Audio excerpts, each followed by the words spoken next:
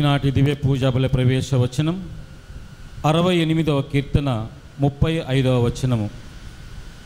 దేవుడు తన పవిత్ర స్థలమున ఉన్నాడు. దేవుడు తన మందిరమున వసించు వారిని ఐక్యపరచును. అతడు స్వయముగా శక్తి బలం దయచేయును. పితా పుత్ర పవిత్రాత్మ నామమునా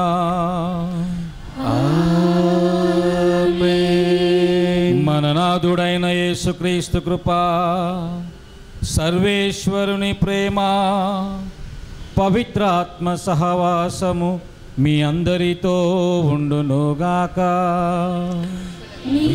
ఆత్మతోను ఉందునుగాక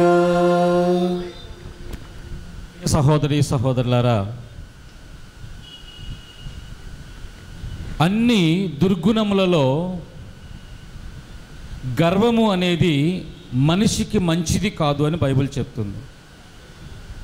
సిరా సిరాకు గ్రంథం మూడవ అధ్యాయము ఇరవై ఎనిమిదవ వచనంలో మనం ఈ విధంగా చూస్తున్నాం. గర్వాత్ముని వ్యధలను తొలగించుటకు మందు లేదు. దుష్టత్వము వానిని వానిలో లోతుగా వేళ్ళు పాతుకొన్నది. ఎవరిలో అయితే గర్వం ఉంటుందో వారిలో దుష్టత్వం అధికంగా ఉంటుందని బైబిల్ తెలియపరుస్తుంది.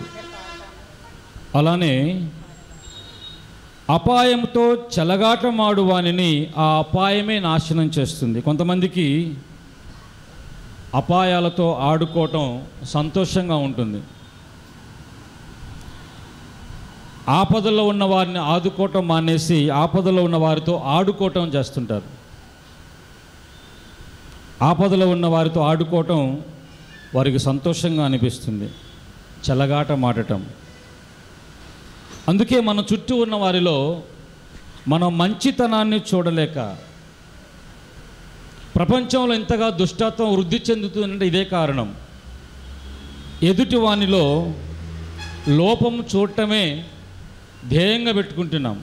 ఎదుటి వారిని ప్రోత్సహించడం కాకుండా లోపాలు ఎత్తి చూపించి వారిని బాధలకు గురి చేయటంలో ఆనందాన్ని అనుభవిస్తున్నాం.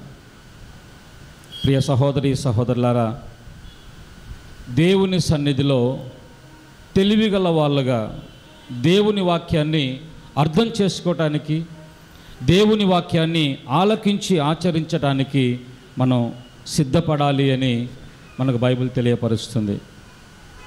మరి ఈరోజు దివ్య పూజ బలి ప్రారంభించుకుంటున్నటువంటి మనం దేవా నీవు లేనటువంటి జీవితం ఎడారి వంటిది. నీవు నాలో ఉండకపోతే నాతో ప్రయాణం చేయకపోతే నన్ను నడిపించకపోతే నన్ను బలపరచకపోతే నా జీవితం సమాధి లాంటిది. అందుకే ప్రభువా నీవు నాకు కావాలి. నీ తోడు నీ నీడ నీ అండ దండ నాకు అవసరం అని ప్రభువుని ప్రాధేయపడుతూ చేసిన పొరపాట్లను అన్నింటినీ జ్ఞాపకం చేసుకొని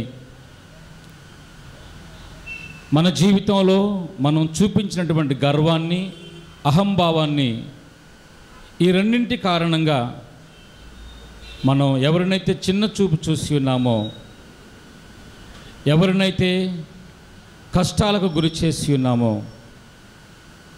ఎవరి జీవితంతో చెలగాటమాడుతూ ఉన్నామో అలాంటి జీవితాన్ని ప్రభువా నేను మానుకుంటాను. నా గత పాపపు జీవితమును క్షమించుము అని ప్రార్థించుకుందాం.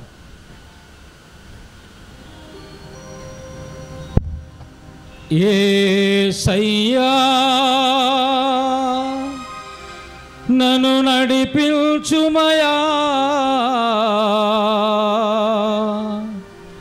సారమైన నేలకు.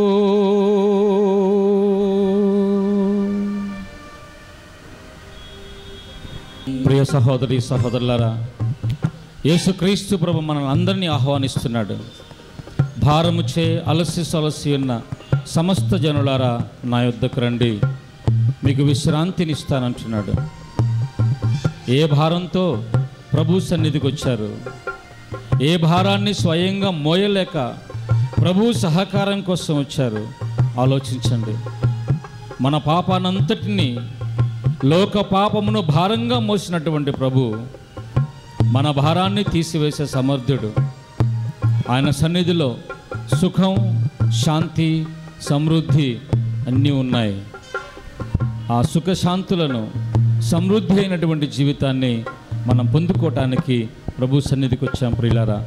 దానికోసం అర్థించండి ప్రార్థించండి. ప్రయాసపడే భారమును మోయుచున్న వారలారా. నా యొద్దకు రమ్మని పిలిచిన దేవా ప్రయాసపడి భారమును మోయుచున్న వారలారా. నా యొద్దకు రమ్మని పిలిచిన దేవా నిత్య జీవ మార్గమును నేనే అని పలికితివే.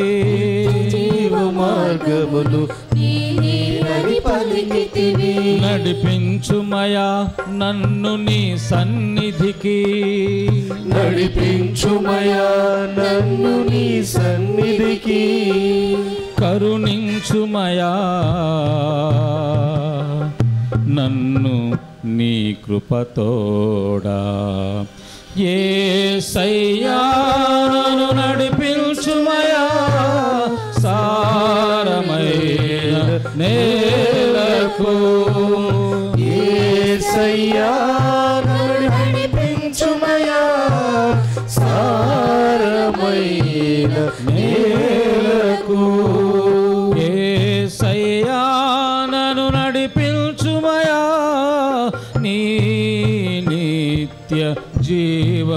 Oh.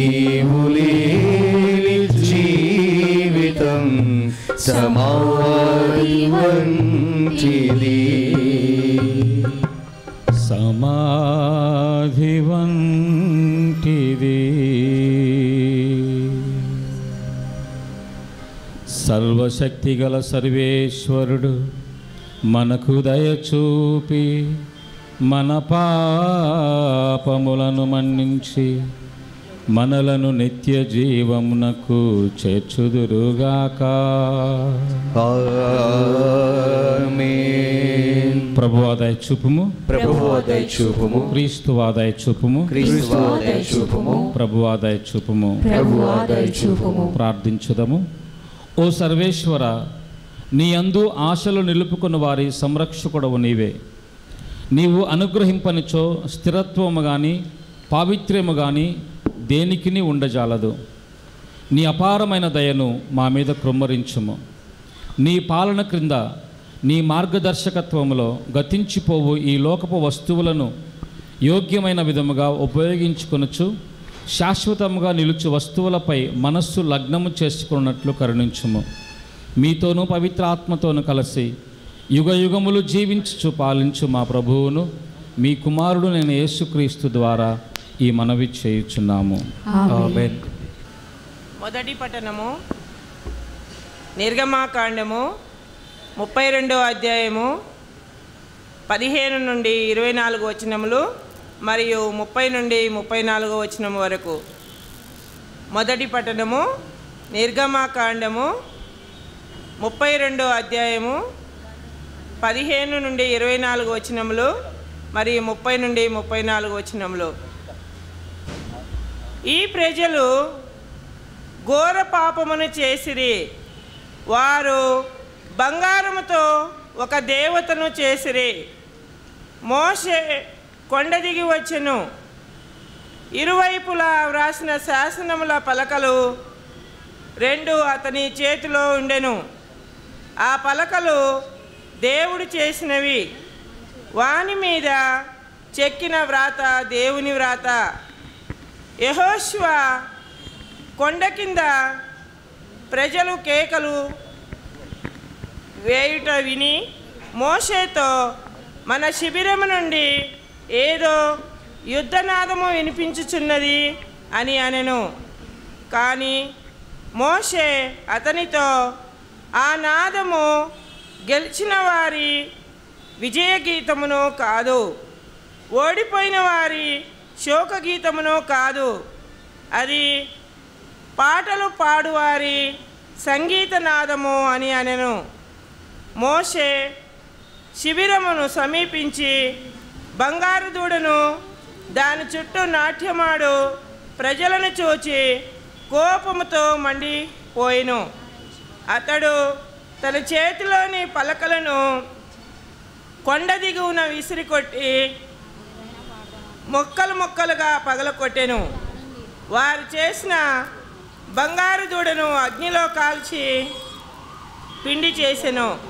ఆ పిండిని నీళ్ళ మీద చల్లి ఇజ్రాయేళ్ళ చేత ఆ నీటిని త్రాగించెను.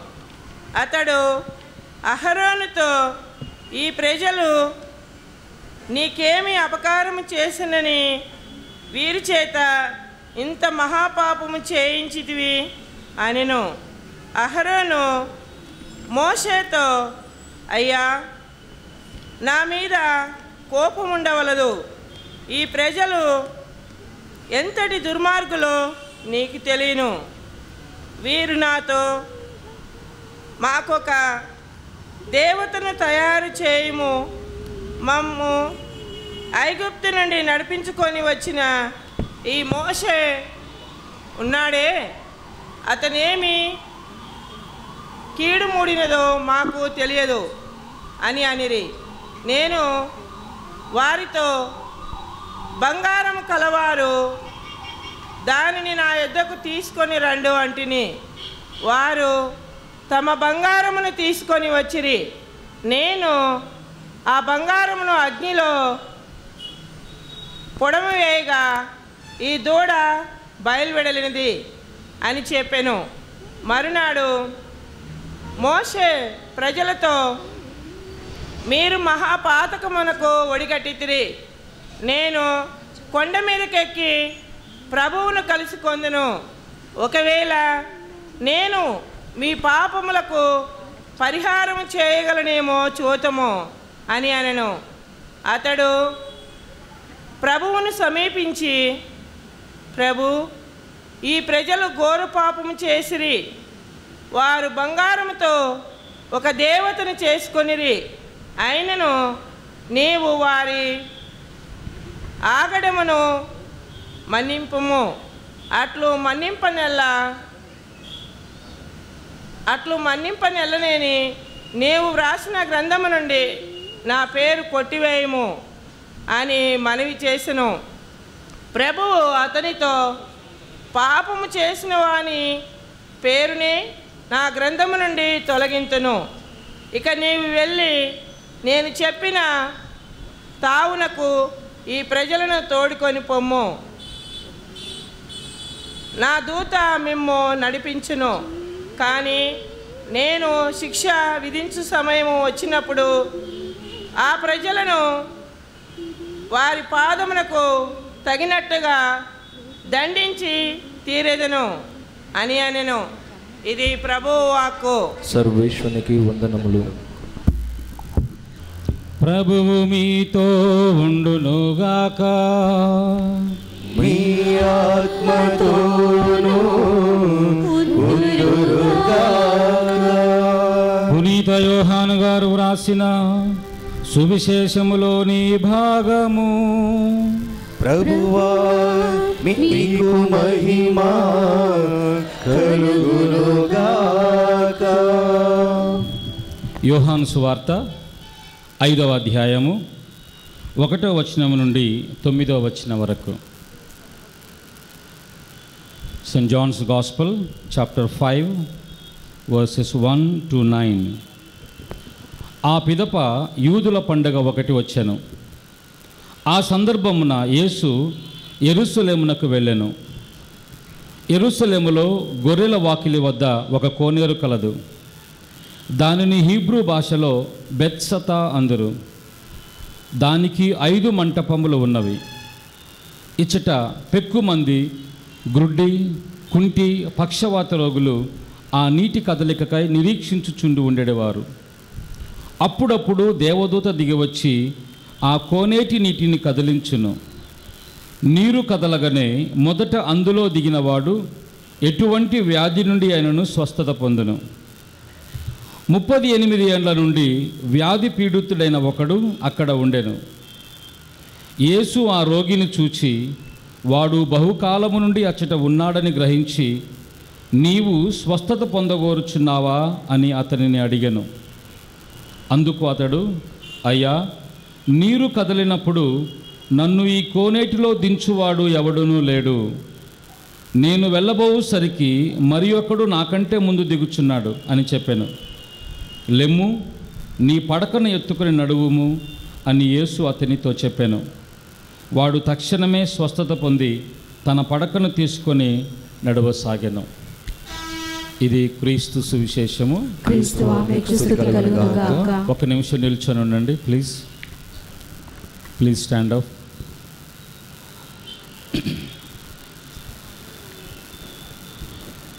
దేవుడు మన పక్షంలో ఉంటే మనల్ని ఎవరు విరోధించలేరు. మన శత్రువులు మనపై ఆధిపత్యాన్ని చూపిస్తున్నారంటే అర్థం. దేవుని సహకారం సహాయం మనకు అందటం లేదు. దేవుడు మనతో ఉన్నాడనే ఫీలింగ్ మనలో ఉంటే మనలో ధైర్యం ఉంటుంది. దేన్నైనా ఎదుర్కోవటానికి శక్తి ఉంటుంది.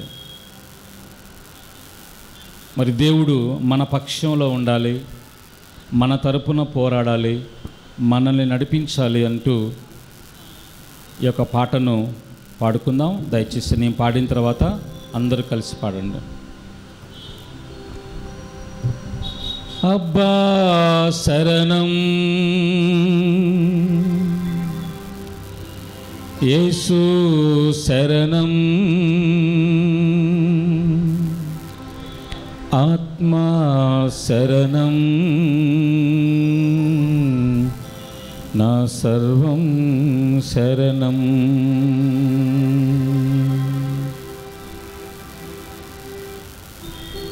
మన పక్షము పక్షమున ప్రభువుండగా మనకు విరోధి ఎవరు?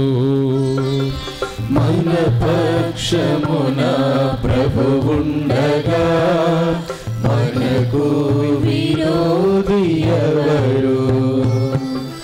మన పక్షమున ప్రభువుండగా మనకు విరోధి ఎవడు?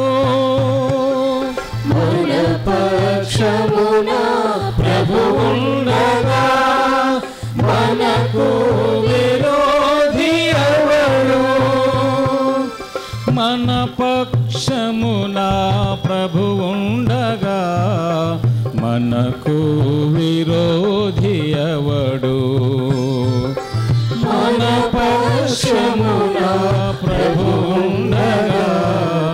మనకు విరోధి ఎవరు అబ్బా శరణం యేసు శరణం ఆత్మా శరణం నా సర్వం శరణం. అబ్బా శరణం येषु शरणम् आत्मा शरणं न सर्वं शरणम् अब्बा शरणं येषु शरणम् आत्मा शरणं न सर्वं शरणम्। अब्बा शरणम् యేసు శరణం. ఆత్మా శరణం సర్వం శరణం. వీళ్ళ బైబిల్లో అనేక సందర్భాల్లో మనం చూస్తున్నాం. ఇజ్రాయేలీలు నలభై సంవత్సరముల ఎడారి ప్రయాణంలో అనేక సమస్యలు వచ్చిన ఎంతోమంది శత్రువులు ఎదురైన దేవుని సహకారంతో అందరిని జయించుకుంటూ యుద్ధనాదంతో ముందుకు సాగారు. మనం దేవుణ్ణి సేవించినట్లయితే దేవుణ్ణి ప్రేమించినట్లయితే దేవుణ్ణి ప్రార్థించినట్లయితే అదే విజయాన్ని దేవుడు నీకు నాకు అనుగ్రహిస్తాడు. ఆ దేవుణ్ణి ఆ దేవుని సన్నిధిలో ఆయన శరణు వేడుకుంటూ ఆ విజయాన్ని మనం కోరుకుందాం. ప్రభువును నీవు సేవించిన బడయుదువు నీవు విజయమును. ప్రభువును నీవు సేవించిన బడయుదువు నీవు విజయమును. ప్రభువును నీవు సేవించినా బడయుదువు నీవు విజయమును.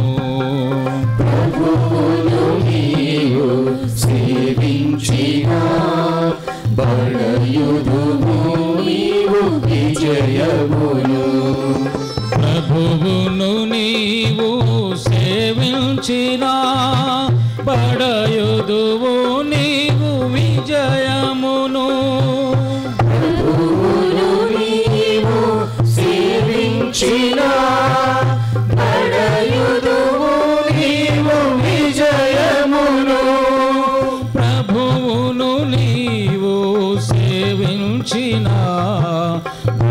బడయుదువు నీవు విజయమును. ప్రభువును నీవు సేవించిన బడయుదువు నీవు చప్పట్లు కొడుతూ పాడదాం. అబ్బా. అబ్బా శరణం యేసు శరణం ఆత్మా శరణం నా సర్వం అందరు కలిసి. అబ్బా శరణం.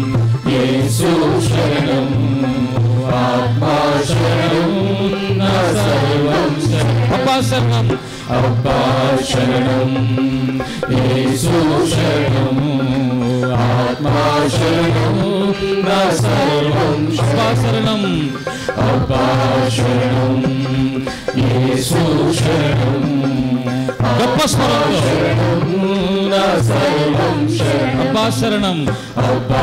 శరణం యేసు శరణం గొప్ప స్వరంతో నా సర్వం శరణం అబ్బా శరణం అబ్బా శరణం యేసు శరణం ఆత్మా శరణం నా సర్వం శరణం అబ్బా శరణం యేసు శరణం ఆత్మా శరణం నా సర్వం శరణం అబ్బా శరణం యేసు శరణం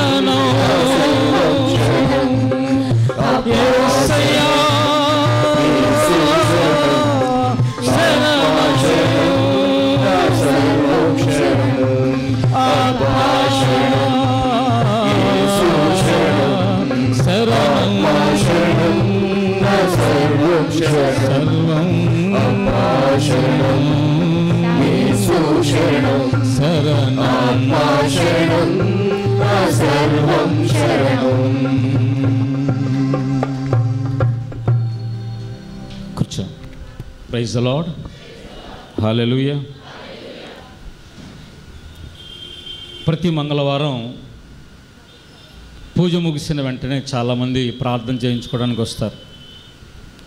వాళ్ళల్లో చాలామంది ఫాదర్ గారండి నాకు ఎవరు లేరు నా కోసం ప్రార్థన చేయండి. నా భర్త లేడు పిల్లలతో ఒంటరిగా ఉన్నాను నా కోసం ప్రార్థన చేయండి అంటారు. ఈరోజు నేను ధ్యానించాలనుకున్న అంశం కూడా అదే. నాకు ఎవరూ లేరు. A feeling that we have no one to be with us a feeling that we have no one to help us ఈనాటి సువిశేష పట్టణంలో చాలా క్లియర్గా ఈ విషయాన్ని మనం అర్థం చేసుకుంటున్నాం. యేసు ప్రభు బెచ్చతాని పిలువబడే కోనేటి దగ్గరికి ఒకరోజు వెళ్ళాడు. ఆయన అక్కడికి వెళ్ళేసరికి అక్కడ ముప్పై ఎనిమిది సంవత్సరాలుగా పక్షవాత రోగంతో బాధపడుతున్న ఒక వ్యక్తిని చూశాడు. ఎన్ని సంవత్సరాలట? మనకు ఒక వారం తలనొప్పి కడుపు నొప్పి కాళ్ళు నొప్పులు ఒళ్ళు నొప్పులు ఉంటేనే తట్టుకోలేం. లేదా ఒక సంవత్సరం అంతా ఏదైనా వేదనతో ఉంటే తట్టుకోలేం. కానీ ఈ వ్యక్తి యేసుక్రీస్తు ప్రభు ఆ కోనేటి దగ్గరకు వచ్చిన తర్వాత వాడిని చూసి ఏమని అడిగాడు? నీవు స్వస్థత పొందగోరుచున్నావా అని అడిగాడు. ఒకవేళ యేసు ప్రభు ఈరోజు మిమ్మల్ని అడిగితే స్వస్థత పొందగోరుచున్నావా? అని అడిగితే మీ జవాబు ఏముంటుంది? అవును లేదా వద్దు. అవును కావాలి లేదా అవసరం లేదు? ప్రశ్నకి సూటిగా జవాబు. ప్రియ సహోదరి సహోదరులారా మరి ప్రభు మనల్ని అడిగితే ఈరోజు ఒక్కొక్కరిని జస్ట్ ఊహించుకోండి. నీకు ఏం కావాలని అడిగితే మీరు ఏం చెప్తారు? ఈరోజు ప్రభు ఒక్కొక్కరిని ఇక్కడ నీకేం కావాలని అడిగితే మీరేం చెప్తారు? అందరికీ స్వస్థతేనా? ఏం కావాలని అడిగితే ఏం చెప్తారు? మాట్లాడండి. శాంతి స్వస్థత కావాలంటారు ఇంకా? యేసు ప్రభు కావాలని అడుగుతారు. ఇంకా ఏం కావాలని అడుగుతారు? ఏమ్మా ఆత్మశుద్ధి కావాలని అడుగుతారు. ఇంకా ఏం అడుగుతారు? శాంతి సమాధానం. మాకు పిల్లలు కావాలని అడుగుతారు. మా భర్త మారాలని అడుగుతారు. మా భర్త తాగుబోతాడు తాగుడు మానేయాలని అడుగుతారు. మా భార్య మారు మనసు పొందాలని అడుగుతారు. అంటే అవసరాలు అనేకం.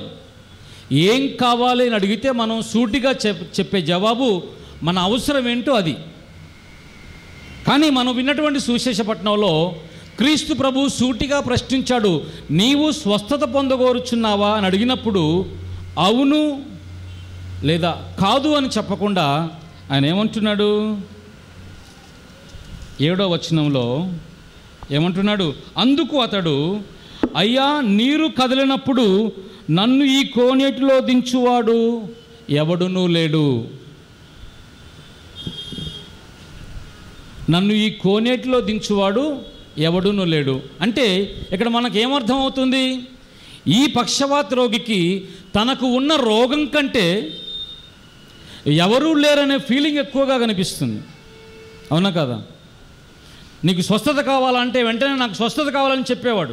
కానీ ఆ స్వస్థతను గూర్చినటువంటి ఫీలింగ్ అంటే ఆయన రోగంను గూర్చినటువంటి బాధ అంత ఎక్కువగా కనిపించడంలో ఏం కనిపిస్తుంది? నన్ను కోనేటిలో దించువాడు ఇక్కడ ఎవడూ లేడు. అంటే నాకు సహాయం చేసేవాడు ఒక్కడు కూడా ఇక్కడ లేడు అనే ఫీలింగ్ ఆయనలో రోగం కంటే ఎక్కువగా కనిపిస్తుంది. అందుకే ప్రభువుకి ఆ జవాబు చెప్తున్నాడు. అయ్యా నన్ను ఈ కోనేటిలో దించువాడు ఎవడునూ లేడు. ముప్పై ఎనిమిది సంవత్సరాలుగా ఎదురు చూస్తున్నాను. ఇక్కడ కోనేటి స్పెషాలిటీ ఏంటి? అప్పుడప్పుడు అకస్మాత్తుగా దేవదూత పరలోకం నుంచి దిగివచ్చి కోనేటిలో నీటిని కదిలిస్తుందట. ఆ నీరు కదిలినప్పుడు ఎవరైతే ఫస్ట్ వెంటనే దిగుతారో వాళ్ళు ఆటోమేటిక్గా స్వస్థత పొందుకొని వెళ్ళిపోతారు. కుంటి వాళ్ళు వెళ్ళిపోవచ్చు గబాలన దూకొచ్చు. చెవిటి వాళ్ళు గబాలన దూకొచ్చు. కడుపు నొప్పి తలనొప్పి వెన్నుపూస నొప్పి భుజాల నొప్పి అన్ని రకరకాల నొప్పులు ఉన్న వాళ్ళు కూడా వెంటనే దిగచ్చు. అందరికంటే ముందు ట్రై చేయొచ్చు. కానీ ఈయన పక్షవాత రోగి. బెడ్ మీద పడుకొని ఉన్నాడు లేవలేని స్థితిలో ఉన్నాడు. ప్రతిసారి ఆ నీరు కదలికను చూస్తున్నాడు కానీ తనకంటే ముందు ఎవరో దిగుతున్నారు స్వస్థత పొందుకొని వెళ్ళిపోతున్నారు. ఇప్పుడు ఆయన ఫీలింగ్ అంతా అది. నేను స్వయంగా దిగే స్థితిలో లేను నన్ను ఈ కోనేటిలో దించువాడు ఎవడును లేడు. ప్రైజ్ లాడ్ ప్రియ సహోదరి సహోదరులారా ఈరోజు అదే ఒంటరితనాన్ని చాలామంది ఇక్కడ అనుభవిస్తున్నారు. ఈ పక్షవాత రోగిలో నేను ఒంటరి వాణ్ణి అనే ఫీలింగ్ ఉంది. నాకు సహాయం చేసే వాళ్ళు ఎవరు లేరంటే అర్థం ఏంటి ఇక వాడు ఒంటరి వాడు అయిపోయినట్లే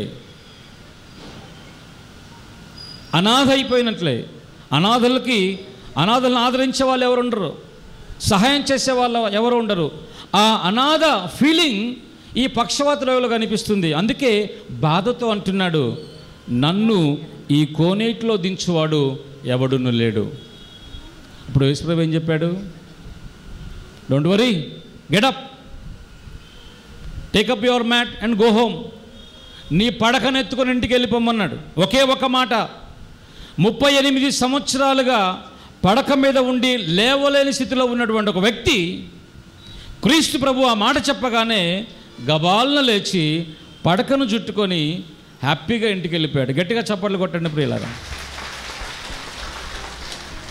నేను ఒంటరి వాడిని అనే ఫీలింగ్ తీసివేయడం కోసం క్రీస్తు ప్రభువే స్వయంగా వాడి జీవితంలో ప్రవేశించాడు. ఒకవేళ ఈ ముప్పై ఎనిమిదవ సంవత్సరంలో క్రీస్తు ప్రభు ఆ కోనేటి దగ్గరికి రాకపోయి ఉన్నట్లయితే బహుశా ఇంకా ముప్పై ఎనిమిది సంవత్సరాలు ఉండేవాడేమో. ఎందుకంటే ఆ పరిస్థితిలో ఎందుకంటే అందరికీ తొందరే. ఇప్పుడు మనం ఎక్కడ ఎక్కడికి వెళ్ళినప్పుడు ప్రతి ఒక్కరికి తొందర. బస్ ఆగిందంటే నేను ముందెక్కాలి నేను ముందెక్కాలి అనుకుంటాం. రైల్వే స్టేషన్లో ఎంఎంటీఎస్ వచ్చి ఆగగానే ఎవరు ముందెక్కాలని తొందరపడుతూ ఉంటాం. ప్రతి ఒక్కరికి ఆరాటం తొందర ఎక్కువ. ఈ ఆరాటం తొందర ఉన్నా కానీ ఈ పక్షవాత రోగి వెళ్ళలేని పరిస్థితి.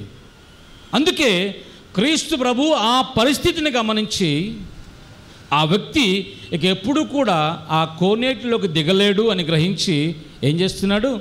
క్రీస్తు ప్రభువే స్వయంగా అక్కడికి వెళ్ళి వాని జీవితంలో ప్రవేశించి వాడి జీవితంలో ఉన్నటువంటి అనాథను ఒంటరి వాడిని ఎవరూ లేరే అనే ఫీలింగ్ తీసేస్తున్నాడు. ప్రియ సహోదరి సహోదరులారా మిమ్మల్ని ఒక ప్రశ్న అడగాలి. అనాథ అంటే ఎవరు? అమ్మా అనాథ అంటే ఎవ్వరూ తోడు లేని వాళ్ళు. తల్లిదండ్రులు లేకపోయినా అనాథే. భర్త లేకపోయినా అనాథే. పిల్లలు లేకపోయినా అనాథలే. అంటే అవసరములో సహాయం చేసే వాళ్ళు లేకపోతే ఆదుకునే వాళ్ళు లేకపోతే వారిని అనాథలుగానే మనం పరిగణించవచ్చు. మరి క్రీస్తు ప్రభు యోహాను సువార్త పద్నాలుగో అధ్యాయం పద్దెనిమిదో వచనంలో ప్రభు అంటున్నాడు. చూ తీయండి. యోహాను సువార్త పద్నాలుగో అధ్యాయం పద్దెనిమిదో వచనం. నేను మిమ్ము అనాథులుగా విడిచిపెట్టను. నేను మీ వద్దకు వత్తును. ప్రైజ్ లాడ్ యోహాను వార్తలో ఇప్పుడు మనం విన్నటువంటి వాక్యంలో ప్రభు అంటున్నాడు నేను మీ అనాథలుగా విడిచిపెట్టను. శిష్యులతో అంటున్నాడు. ఇప్పుడు క్రీస్తు ప్రభు ఏమైనా శిష్యులకు తండ్రా తల్లా? వాళ్ళకేమైనా భర్త? వాళ్ళకేమైనా భార్య? వాళ్ళకేమైనా పిల్లల? శిష్యులకి యేసుప్రభుకున్న సంబంధం ఏంటి?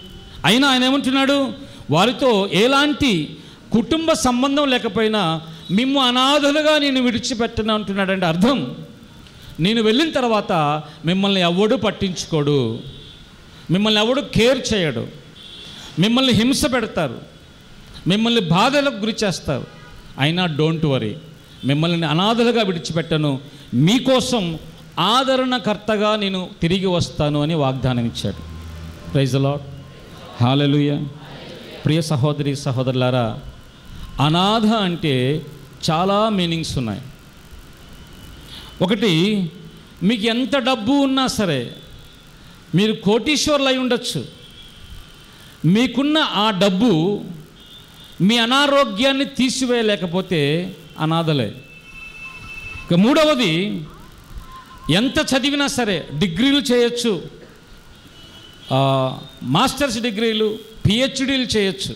కానీ నీవు చదువుకున్న చదువు నీకు ఉద్యోగాన్ని సంపాదించలేకపోతే నీవు చదువుకున్న చదువు నీకు జీవనోపాధి కల్పించకపోతే నువ్వు అనాథవే. నీ చదువు అంతా వేస్ట్ అయిపోయినట్లే. ఎంత డబ్బు ఖర్చు పెట్టి ఎంత మంచి కాలేజీలో చదివినా ఆ చదువు నీకు ఉపయోగపడకపోతే నేను అనాథగానే చూడొచ్చు. ప్రైజ్ లాడ్ హలోయ నీవు ఆర్థిక ఇబ్బందుల్లో ఉన్నప్పుడు ఈ రోజుల్లో చాలామంది ఫేస్ చేసేది అది. నీవు ఆర్థిక ఇబ్బందుల్లో అప్పు సమస్యలు ఉన్నప్పుడు డబ్బు కోసం ప్రతి ఇల్లు నీవు తిరుగుతూ సహాయించమని అడిగిన సమయంలో ఎవరు నీకు సహాయాన్ని ఇవ్వకుండా నిరాకరించినప్పుడు నేను అనాథగానే చూడొచ్చు.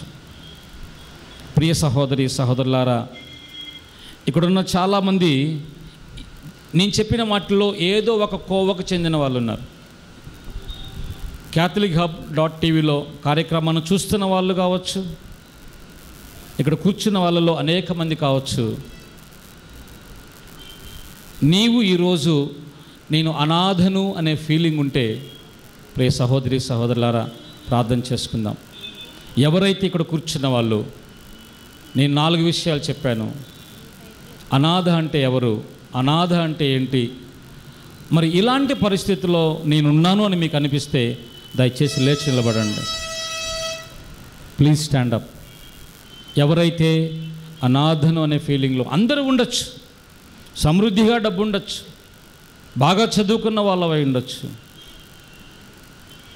కానీ నీ చదువు నీ డబ్బు నీ జనం నీకు ఉపయోగపడకపోతే నువ్వు అనాథవే. ఇక్కడ చాలామంది ప్రతి వారం అడుగుతుంటారు నా భర్త లేడు మా భర్త మా వదిలేసి వెళ్ళిపోయాడు నన్ను అనాథన చేశాడు అనే ఫీలింగ్తో లేచి నిలబడండి ప్రియ సహోదరి సహోదరులారా. ఎవరైతే ఈ ఫీలింగ్తో ఉన్నారో నేను అనాథను నాకు సహాయం నిరాకరించబడుతూ ఉంది. అప్పు సమస్యలు ఉన్నాయి శోధనలు ఎదురవుతూ ఉన్నాయి. నా అనుకున్న వాళ్ళు నన్ను వదిలి వెళ్ళారు. నా ముసలి ప్రాయంలో నన్ను చూసుకుంటారని ఆశపడుతున్న సమయంలో నా పిల్లలు నన్ను విడిచి వెళ్ళారు. నా బిజినెస్ లాస్లో ఉంది. నాకు ఉద్యోగం రావటం లేదు. ఇవన్నీ కూడా నీవు అనాథం అనే ఫీలింగ్ నీకు తీసుకొస్తున్నాయి. ఎన్నో రోజులుగా ఈ సమస్యతో మీరు బాధపడుతున్నారేమో ప్రార్థన చేయండి. ముప్పై ఎనిమిది సంవత్సరాలు పక్షవాత రోగంతో ఉన్న ఆ వ్యక్తి జీవితంలోనికి క్రీస్తు ప్రభు వచ్చాడు. ఈరోజు నీ జీవితంలోనికి రావటానికి ఆయన ఇష్టపడుతున్నాడు. నీ ఫీలింగ్ నుంచి నిన్ను దూరం చేయటం కోసం. ఆ పక్షవాతుడు అన్నాడు నన్ను కోనేట్లో దించువాడు ఎవడునూ లేడు. ఈరోజు నీకు సహాయం చేసేవాళ్ళు ఎవరూ లేరు అనే ఫీలింగ్లో చాలామంది నిలబడి ఉన్నారు. కూర్చున్న వాళ్ళు వాళ్ళ కోసం ప్రార్థన చేయండి. ఎంతోమంది కన్నీటి జీవితం జీవిస్తున్నారు. అందరూ ఉన్న ఎవరూ లేరనే బాధతో కన్నీటితో ఉంటున్నారు. కట్టుకున్నవాడు వదిలి వెళ్ళినప్పుడు కన్నీటిమయమవుతున్నారు. ఉన్న ఆస్తినంతా పోగొట్టుకొని కన్నీరు కారుస్తున్నారు. కన్నీటి జీవితంలో ఉన్నారు. పిల్లలు రెక్కలొచ్చిన పక్షుల్లాగా ఎగిరిపోయి నిన్ను వదిలేసి నీ వృద్ధాప్యంలో నీకు కన్నీటిని మిగిల్చి వెళ్తున్నారు. ఈరోజు ప్రతి ఒక్కరిని నిలుచున్న ప్రతి ఒక్కరిని ప్రభువు చూస్తున్నాడు ప్రియులారా. పక్షవాతలోకి జీవితంలోనికి ప్రభు వచ్చినట్లు నీ జీవితంలోనికి ప్రభు వస్తాడు. నీ కన్నుల్లోని కన్నీటిని తుడుస్తాడు. ఆ ప్రభు రాకడ కోసం ఆ ప్రభు ఆదరణ కోసం ఆ ప్రభు కరుణ కోసం అర్థించండి. తోడు ఎవరు లేరని బాధ ఉన్నదా నమ్మిన వారే నిన్ను విడిచిపోయారా?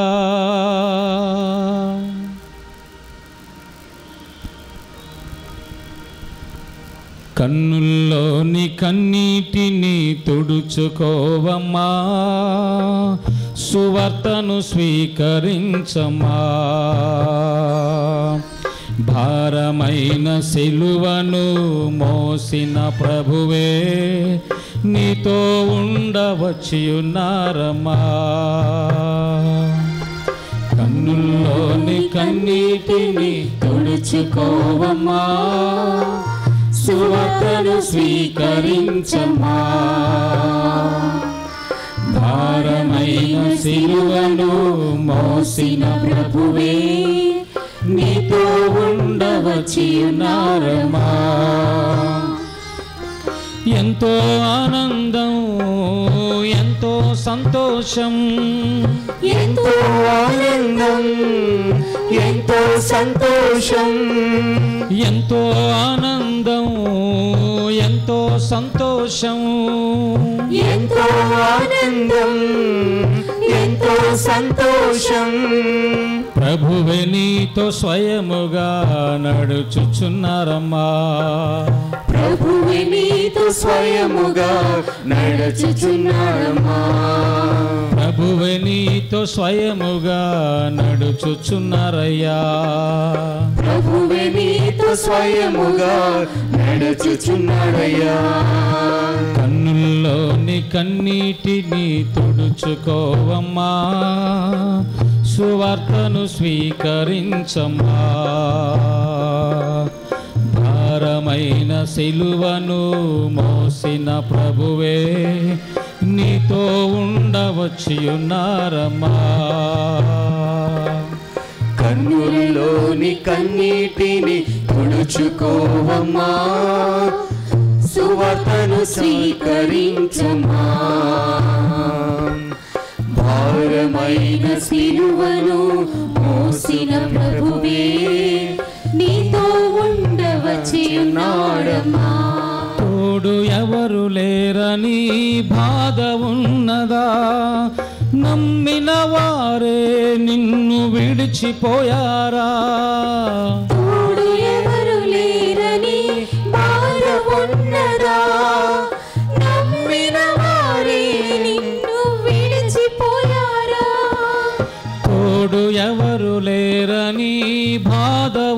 ఉన్నదా?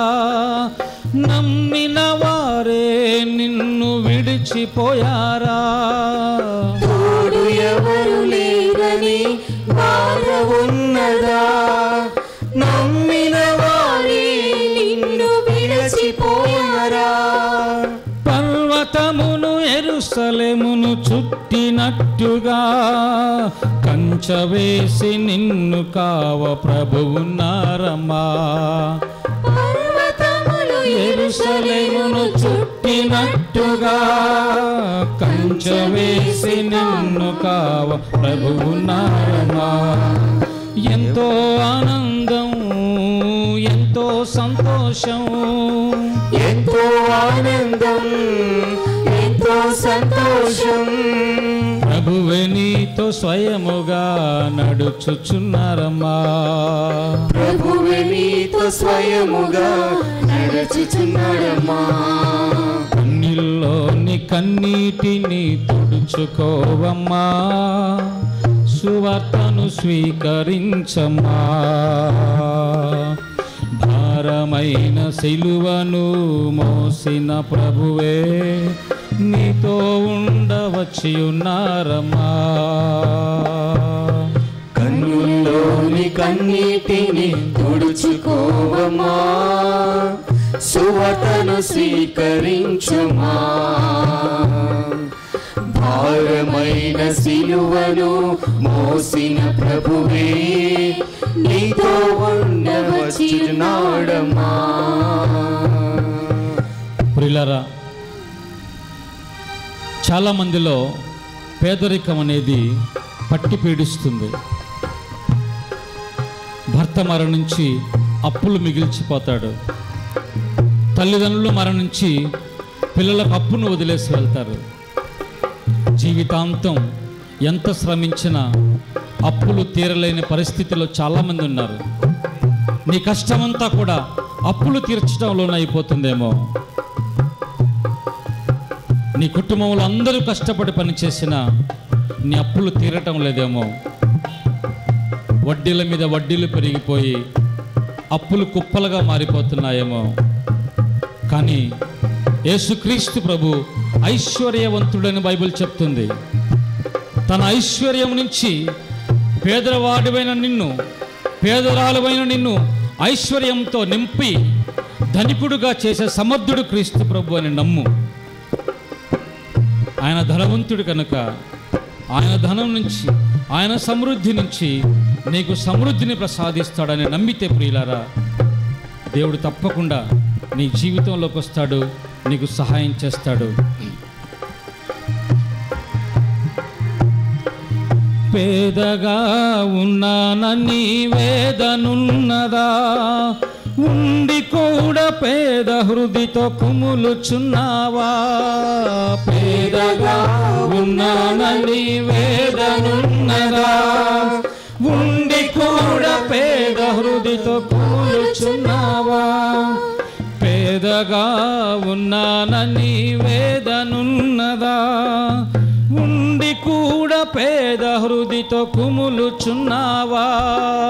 పేదగా ఉన్నానని వేదనున్నదా? ఉండి కూడా పేద హృదితో కుములుచున్నావా?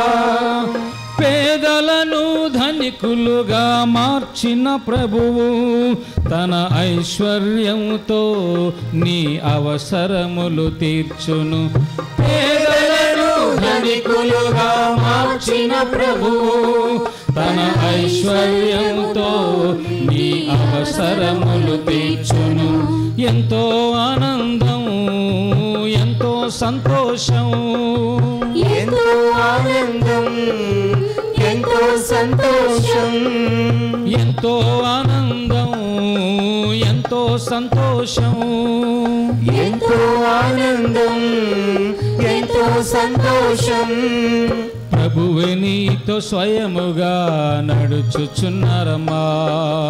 ప్రభువే నీతో స్వయముగా నడుచుచున్నాడమ్మా కన్నుల్లోని కన్నీటిని తుడుచుకోవమ్మా. సువార్తను స్వీకరించమ్మా. భారమైన సిలువను మోసిన ప్రభువే. నీతో ఉండవచ్చి ఉన్నారమ్మా. కన్నుల్లోని కన్నీటిని తుడుచుకోవమా? సువార్తను స్వీకరించుమా? భారమైన సిలువను మోసిన ప్రభువే నీతో ఉండవచ్చున్నాడమా ఎంతో ఆనందం ఎంతో సంతోషం.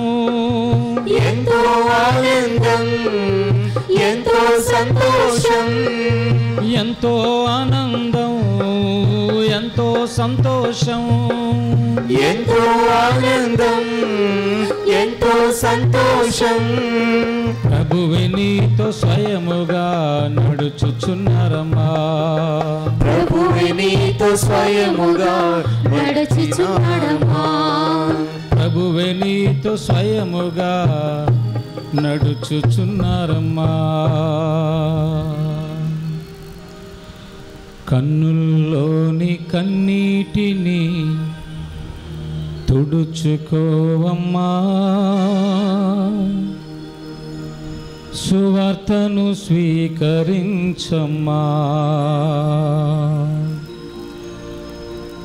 భారమైన సిలువను మోసిన ప్రభువే నీతో ఉండ వచ్చి ఉన్నారమ్మా నీతో ఉండ వచ్చి ఉన్నారమ్మా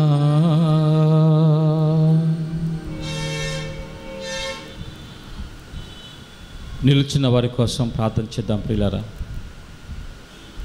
కూర్చున్న వాళ్ళందరూ మీ కుడి చేయి పైకెత్తండి.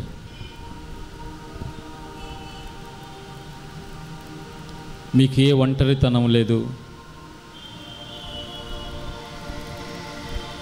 ఏ బాధ ఇబ్బంది లేదు. కానీ నీ ప్రక్కనే నిలుచున్నారు. ఒంటరితనంలో జీవిస్తున్నటువంటి వాళ్ళు. ఈరోజు క్రీస్తు ప్రభు వారి జీవితంలోనికి రావాలి. ముప్పై ఎనిమిది సంవత్సరాల సుదీర్ఘ కాలం తర్వాత క్రీస్తు ప్రభు ఆయన జీవితంలోనికి వచ్చాడు. ఎన్నో రోజులుగా ఒంటరితనాన్ని అనుభవిస్తున్నటువంటి ఈ బిడ్డల జీవితంలోనికి కూడా క్రీస్తు ప్రభు రావాలి అని ప్రార్థన చేయండి. మనస్సారా మనసులో నిలుచున్న వాళ్ళ కోసం ప్రార్థన చేయండి. దేవుని యొక్క ప్రేమను ఈ బిడ్డలు చవి చూడాలి. ఆయన యొక్క శక్తిని వాళ్ళు రుచి చూడాలి. నాకు ఎవరూ లేకున్నా ప్రభువు ఉన్నాడు చాలు అనే ధైర్యంతో వాళ్ళు జీవించగలగాలి. అడుగడుగున దేవుని అనుగ్రహం వల్ల ఇక నుంచి వాళ్ళు విజయం పొందుకోవాలి. వారిలో ఉన్న అవమానం తొలగిపోవాలి. ఎవరెవరైతే వారిని నీచంగా చూస్తున్నారో ఎవరెవరైతే వారిని అవమానంగా చూస్తూ ఉన్నారో ఎవరైతే వారిని అనాథలుగా విడిచిపెట్టి సుఖశాంతుల కోసం వెతుకుతున్నారో వారి మనస్సుల్లో మార్చమని కూడా ప్రార్థించేద్దాం.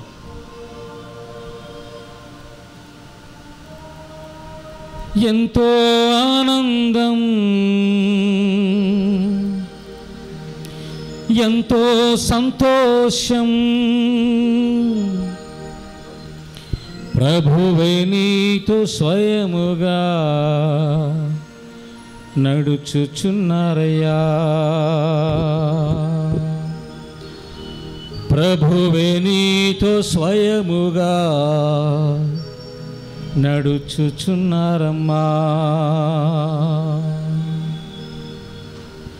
కన్నుల్లోని కన్నీటిని తుడుచుకోవమ్మా. సువార్తను స్వీకరించమ్మా. భారమైన శిలువను మోసిన ప్రభువే. నీతో ఉండవచ్చుచున్నారయ్యా.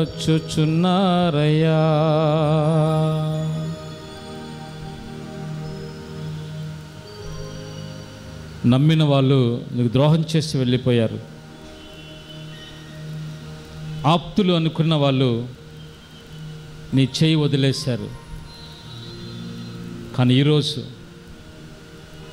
అదే చేయిని యేసుక్రీస్తు ప్రభు పట్టుకుంటున్నాడు. ఎవరైతే నిన్ను మోసం చేసి వెళ్ళిపోయారో ప్రభు మోసకాడు కాదు.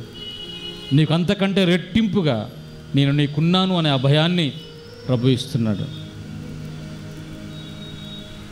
ప్రియ సహోదరి సహోదరులారా ఇక్కడ ఒక స్త్రీ జీవితాంతం కష్టపడి భర్త లేకపోయినా పిల్లల్ని కష్టపడి పెంచి పోషించి ప్రయోజకులను చేసింది. కానీ పిల్లలు ఉద్యోగం వెతుక్కొని తమ సొంత కుటుంబాన్ని చూసుకొని విడిచి వెళ్ళిపోయారు. సుదూర దేశాలకు వెళ్ళిపోయారు. ఆ స్త్రీ వేదన ఎంత అంటే వర్ణనాతీ వర్ణనాతీతం వర్ణించలేనటువంటిది. ఫోన్ చేయరు. సహాయం చేయరు. నీకు సహాయం అవసరమైనప్పుడు ఆ స్త్రీని వాళ్ళు వదిలేసి వెళ్ళిపోయారు. సంపాదించిందంతా పిల్లల కోసం పెట్టి ఒంటరిదైపోయింది ఆ స్త్రీ. ప్రియ సహోదరి వచ్చే నెలలోగా వచ్చే నెల చివరి మంగళవారంలోగా ఏ పిల్లలైతే నిన్ను విడిచి వెళ్ళారో అని నువ్వు బాధపడుతున్నావో ఏ పిల్లలైతే నీకు ఆర్థికంగా సహాయం చేయకుండా నిన్ను విడిచారని నువ్వు ఫీల్ అవుతున్నావో వచ్చే నెల ఇదే మంగళవారం రోజున మంగళవారం రోజులోగా నీ పిల్లలు నీ చెంతకు వచ్చి నిన్ను ఆదరించి హక్కును చేర్చుకుంటారు. గట్టిగా చప్పట్లు కొట్టండి పిల్లలు. ఎంతో ఆనందం. అందరం పాడదాం. ఎంతో ఆనందం. ఎంతో సంతోషం. ఎంతో ఆనందం. ఎంతో సంతోషం. ప్రభువు నీతో స్వయముగా నడుచుచున్నాడు. చప్పట్లు కొడుతూ. ప్రభువు నీతో స్వయముగా నడుచుచు. ఎంతో ఆనందం. ఎంతో ఆనందం. ఎంతో సంతోషం. ఎంతో ఆనందం. ఎంతో ఆనందం. ఎంతో సంతోషం. ప్రభువు నీతో స్వయముగా నడుచుచున్నాడమ్మా. ప్రభువు నీతో స్వయముగా నడుచుచున్నాడమ్మా.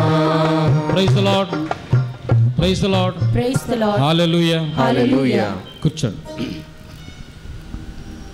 రాజుల మొదటి గ్రంథం పదిహేడవ అధ్యాయం తీసుకుందాం. రాజుల మొదటి గ్రంథం పదిహేడవ అధ్యాయం. ఇక్కడ సరేఫాతు అనే విధవ ఇంటికి విధవరాలి ఇంటికి ఎలీషా ప్రవక్త వెళ్ళాడు. సారీ పదిహేడవ అధ్యాయం. రాజుల మొదటి గ్రంథం పదిహేడవ అధ్యాయం.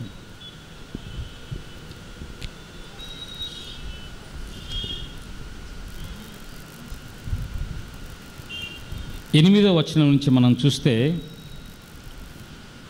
సరేఫాతులో ఒక విధవరాలు కరువు సమయంలో కట్టెల కోసం వెతుక్కుంటూ అలా పొలాల్లోకి వెళ్ళింది. దానికి ముందే దేవుడు ఎలీషా ప్రవక్తతో ఎలియా ప్రవక్తతో మాట్లాడి నువ్వు పలానా గ్రామానికి వెళ్ళు. నీకు అక్కడ భోజనాన్ని ఏర్పాటు చేశాను అన్నాడు. ఎలియా ప్రవక్త దేవుడు చెప్పినట్లుగానే సరేఫాత్ గ్రామానికి వెళ్ళాడు. దేవుడు చెప్పినట్లుగానే ఆ సమయంలో ఒక విధవరాలు తన ఒక్కగానొక్క కొడుకుతో కట్టెలు వెతుకుతూ వేరుకుంటుంది. దేనికోసం? ఆమె దగ్గర కుండలో కొంచెం పిండి ఉంది పిడతలో కొంచెం నూనె ఉంది. ఆ రోజు వరకు ఆ రొట్టెను భుజించి ఇక మనం చద్దాము అని సిద్ధపడి ఆ రోజు కోసం వెతుక్కుంటూ వచ్చారు. ఆ స్టోరీ చాలామందికి తెలుసు. ఏలియా ప్రవక్త అక్కడికి రావటం అమ్మ నాకు రొట్టెను వండి పెట్టమని అడగటం ఆ తర్వాత ఆమె ఏమంటుంది అయ్యా ఈ రోజుకు మాత్రమే మాకు తినటానికి ఉంది. అయినా నీకు పెడతాను రమ్ము అని చెప్పి ఇంటికి తీసుకెళ్ళి ఆయనకు రొట్టెను తయారు చేసి ఇచ్చింది. ఇప్పుడు ఆయన ఏమన్నాడు? కరువు ముగిసేంత వరకు నీ కుండలో పిండి తరగదు నీ పిడతలో ఉన్న నూనె అయిపోదన్నాడు. అలానే మూడున్నర సంవత్సరాల పాటు ఆమె కొరత లేకుండా ప్రతిరోజు సంతృప్తిగా భోజనం చేయగలిగింది. ప్రియ సహోదరి సహోదరులారా ఇక్కడ ఏలియాతో దేవుడు ఏం చెప్పాడు? నీవు అక్కడికి వెళ్తే నీకోసం భోజనం ఏర్పాటు చేస్తానన్నాడు. కానీ ఈ అధ్యాయం అంతా చదివి బాగా అర్థం చేసుకుంటే దేవుడు ఏలియా ప్రవక్తను ఈ విధవరాలి కోసం పంపించాడు. ఎందుకంటే దానికి ముందు సందర్భం మనం చూస్తే అక్కడ ఆయనకు కొరత లేకుండా ప్రతిరోజు కాకులతో భోజనం పంపించాడు దేవుడు. ఏలియా ప్రవక్త ఒక కొండ గుహలో ఉన్నాడు. ఆ కొండ గుహలోనికి ప్రతిరోజు కాకులు మాంసాహారం తీసుకుని వచ్చాయట. ఆయనకి న్యాచురల్గా ఆటోమేటిక్గా దేవుడు పంపిస్తూనే ఉన్నాడు. కానీ ఈ సందర్భంలో ఏలియా ప్రవక్తను దేవుడు అక్కడికి ఎందుకు పంపించాడంటే ఈ విధవరాలు ఒంటరితనాన్ని ఫీల్ అవుతుంది. నాకు ఎవరూ లేరు అనే ఫీలింగ్లో బాధలో ఉంది. నాకు ఇక ఆహారం లేదు అని ఆమె బా బాధలో ఉంది. అందుకే ఆ బాధను తీర్చడం కోసం. ఆ విధవరాలకు ఉన్నటువంటి ఆ ఒంటరితనాన్ని తీసివేయటం కోసం ఆకలి అనే ఒంటరితనాన్ని తీసేయడం కోసం ప్రవక్తను అక్కడికి పంపించినట్లుగా మనకు అర్థమవుతుంది. ప్రైజ్ లాడ్ హాలెలుయ హాలెలుయ ప్రియ సహోదరి సహోదరులారా మరి భోజనాన్ని ఆ విధవరాలి కోసం సమకూర్చిన దేవుడు ఈరోజు భోజనం కోసం ఎవరెవరు తప్పిస్తున్నారో పొట్టకూటి కోసం ఎవరెవరు కష్టపడుతున్నారో ఎంత కష్టపడ్డా కూడా మాకేమీ మిగలటం లేదనే ఫీలింగ్లో ఉన్నారో తప్పకుండా దేవుడు మీ జీవితంలోనికి వస్తాడు. మీ జీవితంలోనికి ఎవరినో ఒకరిని పంపిస్తాడు. మీ ఆకలిని తీర్చడం కోసం ఏదో ఒక విధంగా దేవుడు ఏర్పాటు చేస్తాడు. Praise Lord hallelujah hallelujah hallelujah hallelujah Mark సువార్త ఐదో అధ్యాయం తీసుకుందాం. మార్కు సువార్త ఐదో అధ్యాయం. ఈ ఐదో అధ్యాయంలో ఇరవై ఐదో వచనం చదువుతాను. ఇరవై ఐదు ఇరవై ఆరు. పన్నెండు సంవత్సరముల నుండి రక్తస్రావ వ్యాధితో బాధపడుచున్న ఒక స్త్రీ ఎన్నో బాధలు పడి ఎందరో వైద్యుల యొద్ద చికిత్స పొందుటకై తనకు ఉన్నదంతయూ వెచ్చించినను. ఆ వ్యాధి ఏమాత్రము తగ్గక పెచ్చు పెరిగాను. ఇక్కడ మనం ఏం చూస్తున్నాము? ఆమెకున్నటువంటి డబ్బు ధనము ఆమెకు ఆరోగ్యాన్ని ఇవ్వలేకపోయింది. ఈ అనారోగ్యాన్ని పబ్లిక్గా ఎవరికి చెప్పుకోలేదు. అయినా సరే ప్రతి డాక్టర్ దగ్గరికి వెళ్ళింది. ఉన్నదంతా కూడా ఖర్చు పెట్టింది. ఇక్కడ క్లియర్గా రాస్తుంది ఎన్నో బాధలు పడి ఎందరో వైద్యుల యొద్ద చికిత్స పొందుటకై తనకు ఉన్నదంతయు వెచ్చించినను ఆ వ్యాధి ఏమాత్రము తగ్గక పెచ్చు పెరిగాను జనరల్గా ఈ రోజుల్లో మనం చూస్తుంది అదే. ఏ కార్పొరేట్ హాస్పిటల్కి వెళ్ళినా డబ్బులన్నీ గుంజుతారు కానీ ఆరోగ్యం మాత్రం అరుదుగా వస్తుంది. ఉన్న వాళ్ళకైతే పర్వాలేదు ఎన్నైనా డబ్బులు పెట్టచ్చు. కానీ లేని వారి పరిస్థితి ఏంటి? ఆరోగ్యం కోసం డబ్బులన్నీ పెట్టి ఆరోగ్యం రాని పరిస్థితుల్లో ఉన్నదంతా పోగొట్టుకొని అప్పుల పాలైపోతున్న వాళ్ళు చాలామంది కనిపిస్తున్నారు. మరి ఈ సహోదరి అలానే ఎందరో వైద్యుల దగ్గరికి వెళ్ళి ఉన్నధనమంతా వెచ్చించింది కానీ ఆ ఆరోగ్యము మెరుగు కాలేదు అని ఇక్కడ చూస్తున్నాం. డబ్బులు ఖర్చు పెట్టిన వైద్యం జరగలేదు. డబ్బులు పోయినా ఆరోగ్యం రాలేదు. అలాంటి పరిస్థితుల్లో ప్రియ సహోదరి సహోదరులారా ఆ గ్రామానికి యేసుప్రభు వచ్చాడు. ఏ గ్రామంలో ఈ స్త్రీ ఈ అనారోగ్యంతో బాధపడుతూ ఇక నాకున్నదంతా పోయింది. ఇక నాకు నాది అంటూ ఏదీ లేదు అని బాధలో ఉన్న సమయంలో యేసుక్రీస్తు ప్రభు అదే గ్రామానికి రావటం. ఈమె మనసులో ఒక ప్రేరేపణ కలగటం. ఇది చాలా ముఖ్యం ప్రియులారా. ఈమె మనసులో ప్రేరేపణ కలుగుతుంది. ఏంటది? నేను వెళ్ళి క్రీస్తు ప్రభు అంగి అంచు తాకితే చాలు నాకు స్వస్థత కలుగుతుంది అని అనుకుంది అంతే. క్రీస్తు ప్రభుకు డబ్బులు ఇచ్చి స్వస్థత కొనుక్కుంటాను అనుకోలేదు. క్రీస్తు ప్రభుకి కొన్ని కానుకలు ఇచ్చి స్వస్థత కోసం అడుగుతాను అనుకోలేదు. కానీ ఈ స్త్రీ ఏం చేస్తుంది? ఉచితంగా అంటే ఇవ్వడానికి కూడా ఏమీ లేదు. ధనమంతా అయిపోయింది ఇక ఏమీ లేదు.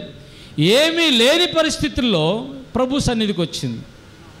అంతా కోల్పోయిన తర్వాత ఆయన సన్నిధిని ఆశపడుతుంది. చూడండి ప్రియుల మనిషిలో ఆశ ఉండాలి. దేని మీద? అన్నీ పోయిన తర్వాత కనీసం దేవుని మీద ఆశ కలగాలి. దేవుడు నాకు సహాయం చేస్తాడు నాకు ఆరోగ్యం ఇస్తాడు నా బాధలు తీసివేస్తాడు నా అప్పులు తీరుస్తాడనే ఆశ అప్పులు ఉండగానే చాలామంది మనుషుల దగ్గరికి వెళ్తాం. మనుషుల దగ్గర అడుక్కుంటాం. కానీ దేవుని దగ్గర అడుక్కోవటానికి ఎందుకో సిగ్గుపడతారు. మనుషుల దగ్గర అడుక్కోవడానికి నో ప్రాబ్లం కానీ దేవుని దగ్గర అడుక్కోవడానికి టైం ఉండదు. ఎన్నో బాధలతో ఉంటారు ఏంటమ్మా గుడికి రావటం లేదు అంటే చాలా బిజీ ఫాదర్ అంటారు. బాధలు ఉన్నాయి కానీ గుడికి రావడం లేదు ఎందుకంటే బిజీ. బిజీ బిజీ పనుల్లో అప్పులు తీరటం లేదు బాధలు పెరుగుతున్నాయి కానీ ఇక ఏ పరిష్కారం కనిపించడం లేదు. అయినా అలాంటి పరిస్థితుల్లో కూడా దేవుని సన్నిధిని ఆశ్రయించడానికి సిగ్గుపడుతున్నారు లేదా సమయం వెతుక్కోవటం లేదు. కానీ ఈ స్త్రీ చూడండి ఉచితంగా ఆలోచించింది. ఏమని? అంగీ అంచు తాకితే అంటే విభిన్నంగా ఒక క్రొత్త విధంగా ఆలోచించింది. ఎంత మంచి ఆలోచన తట్టిందో చూడండి. అంగీ అంచు తాకితే చాలు నాకు స్వస్థత కలుగుతుంది అనే బలమైన నమ్మకం.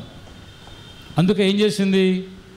ప్రభు ఆ మార్గంలో గుంపులో గుండా వెళ్తుంటే ఆ గుంపులో వెనకాల ఆయన కనపడకుండా వెళ్ళి అంగీ తాకింది. ఏం జరుగుతుంది? ఇన్స్టంట్గా. పన్నెండు సంవత్సరాల నుంచి ఉన్నటువంటి ఆ వ్యాధి ఇన్స్టంట్గా తగ్గిపోతుంది. గట్టిగా చప్పట్లు కొడదామా ప్రియులారా? ఒకే ఒక్క కారణం. కేవలం ఆమెకు క్రీస్తు ప్రభు ప్రభుపై ఉన్నటువంటి నమ్మకం మాత్రమే ఆ స్త్రీకి పన్నెండు సంవత్సరాలుగా ఉన్నటువంటి అనారోగ్యం నుంచి స్వస్థతనిచ్చిందని మనకు అర్థమవుతుంది. ప్రియ సహోదరి సహోదరులారా ఇలాంటి విభిన్నమైనటువంటి ఏదైనా మార్గం వెతకండి ప్రభువుని చేరడానికి ఉన్నదంతా పోయిన తర్వాత మనుషుల వెంట పడితే లాభం లేదు అవమానమే మిగులుతుంది. ఈరోజు ఎవడు అప్పు ఇస్తున్నాడు? ఎవడు అప్పు ఇవ్వడు? ఎవరు ఆదరిస్తున్నారు? నీకు పుట్టిన వాళ్ళే నిన్ను ఆదరించి ఇంకెవడో ఎందుకు ఆదరిస్తాడు? నిన్ను కట్టుకున్నవాడు నేను వదిలేస్తాడు. ఇంకెవడు ఆదరిస్తాడు? అందుకే ప్రియులరా అన్ని మార్గాలు మూసివేయబడ్డాయి అని అనుకున్న సమయంలో ఈ మార్గాన్ని ఒక క్రొత్త మార్గాన్ని వెతకండి. ఎలా ప్రభువుని చేరాలి? ఎలా ప్రభువుని ఆశ్రయించాలి? మార్గాలు ఎవరో చెప్పనవసరం లేదు. ఈ స్త్రీకి ఎవరు చెప్పలేదు. అన్నీ పోయిన తర్వాత ఆమె మనసులో కొత్త ఆలోచన. ఇది ఒక కొత్త ఆలోచన. ఏంటి? ఆయన అంగీ అంచు తాకాలి. బస్. అనుకుంది చేసింది అనుకున్నట్టుగానే జరిగింది. అందుకే ప్రియులరా ఒక క్రొత్త మార్గాన్ని ప్రభువుని చేరడానికి ఒక విభిన్నమైన మార్గాన్ని వెతికితే తప్పకుండా మనలో ఉన్నటువంటి ఆ నమ్మకాన్ని బట్టి దేవుడు సహాయం చేస్తాడు. Praise Lord Praise the Lord. Hallelujah Hallelujah. Hallelujah Hallelujah. ప్రియ సహోదరి సహోదరులారా యెషయా గ్రంథం యాభై నాలుగో అధ్యాయంలో ఒక చక్కని మాట ప్రభు చెప్తున్నాడు. యశ్యా గ్రంథం యాభై నాలుగో అధ్యాయంలో పదకొండు నుంచి పద్నాలుగు వచ్చాలు నేను చదువుతాను. బాధలకు గురి అయి విచారమున చిక్కి ఓదార్చువారు లేక ఉన్నదానా? నేను విలువగల మనులతో నిన్ను పునర్నిర్మింతును. నీలమణులతో నీకు పునాదులెత్తుదును మాణిక్యములతో నీ బురుజులు కట్టుదును అరుణ కాంతులీను మనులతో నీ ద్వారములు కట్టుదును ప్రశస్త రత్నములతో నీ ప్రాకారమును నిర్మింతును. నీ ప్రజలందరికీ ప్రభువే ఉపదేశము చేయును వారు మిక్కుటముగా వృద్ధి చెందుదురు. ప్రైజ్ లాడ్ Praise the ఎంత. గొప్ప మాట ఎంత గొప్ప వాగ్దానం ప్రభు ఇస్తున్నాడు చూడండి. అందరూ విడిచిపెట్టారా నిన్ను? నేను ఆదుకుంటానంటున్నాడు. నీ జీవితాన్ని నేను మనులతో మాణిక్యాలతో పునర్నిర్మిస్తానంటున్నాడు. ఎంత గొప్ప వాగ్దానం. అందుకే ప్రియ సహోదరి సహోదరులారా ఈ వాగ్దానం పట్టుకోండి. నూతనమైన మార్గాలు వెతకండి. నూతనమైన మార్గాలు వెతకాలి. దేవుని వాగ్దానాలు పట్టుకొని ప్రార్థన చేయాలి. తప్పకుండా దేవుడు మీ జీవితాన్ని గొప్పగా నూతనంగా నిర్మిస్తాడు. అలానే రాజుల రెండవ గ్రంథం తీసుకుందాం. నాలుగో అధ్యాయం. రాజుల రెండవ గ్రంథం నాలుగో అధ్యాయం. ఇక్కడ ఉన్న వాళ్ళు చాలామంది అప్పు బాధలతో ఉన్నారు. అప్పు బాధల్లో ఉన్న వారికి ఇది చక్కని సందేశం. రాజుల రెండవ గ్రంథం నాలుగో అధ్యాయంలో ప్రవక్తల సమాజం నుంచి ఒక విధవరాలు ఎలీషా ప్రవక్త దగ్గరికి వెళ్ళిందట. ఎలీషా ప్రవక్త దగ్గరికి వెళ్ళి అయ్యా నా భర్త చచ్చిపోయాడు. నాకు చాలా అప్పులు ఉన్నాయి అప్పుల వాళ్ళు చింటి దగ్గర కూర్చున్నారు.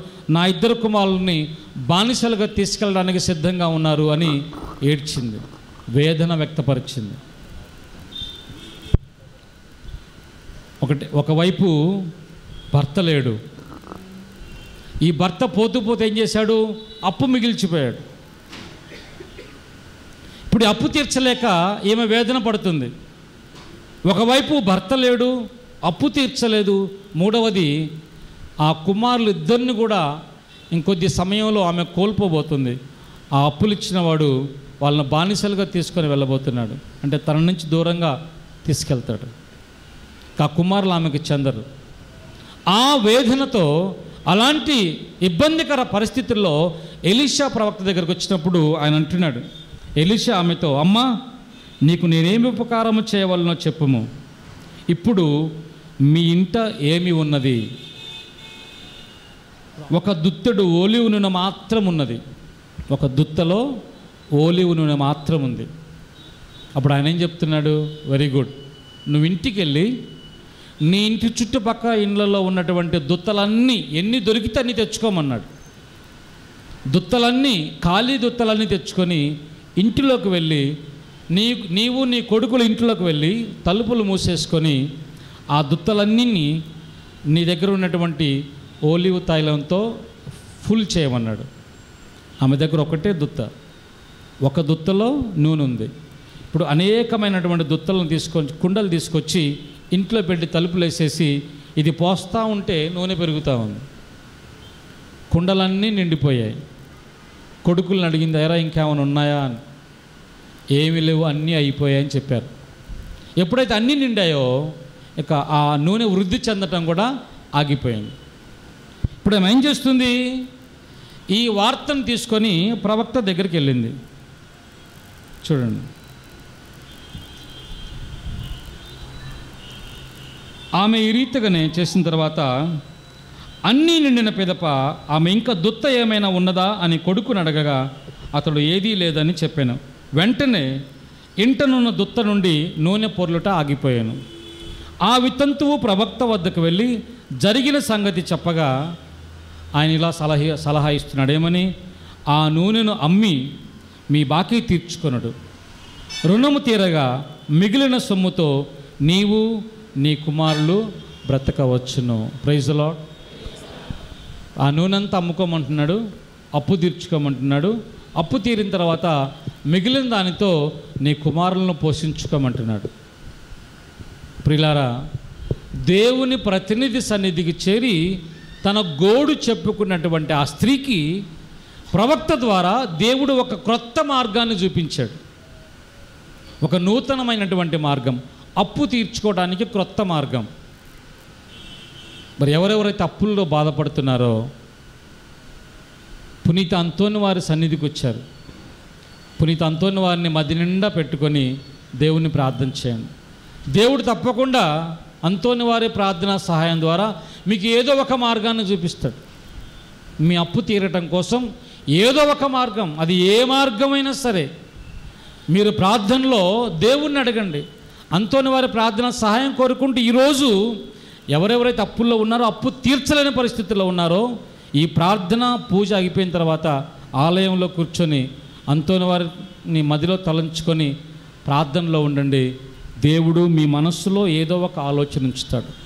మీరు ఏం చేస్తే మీ అప్పు తీరుతుంది.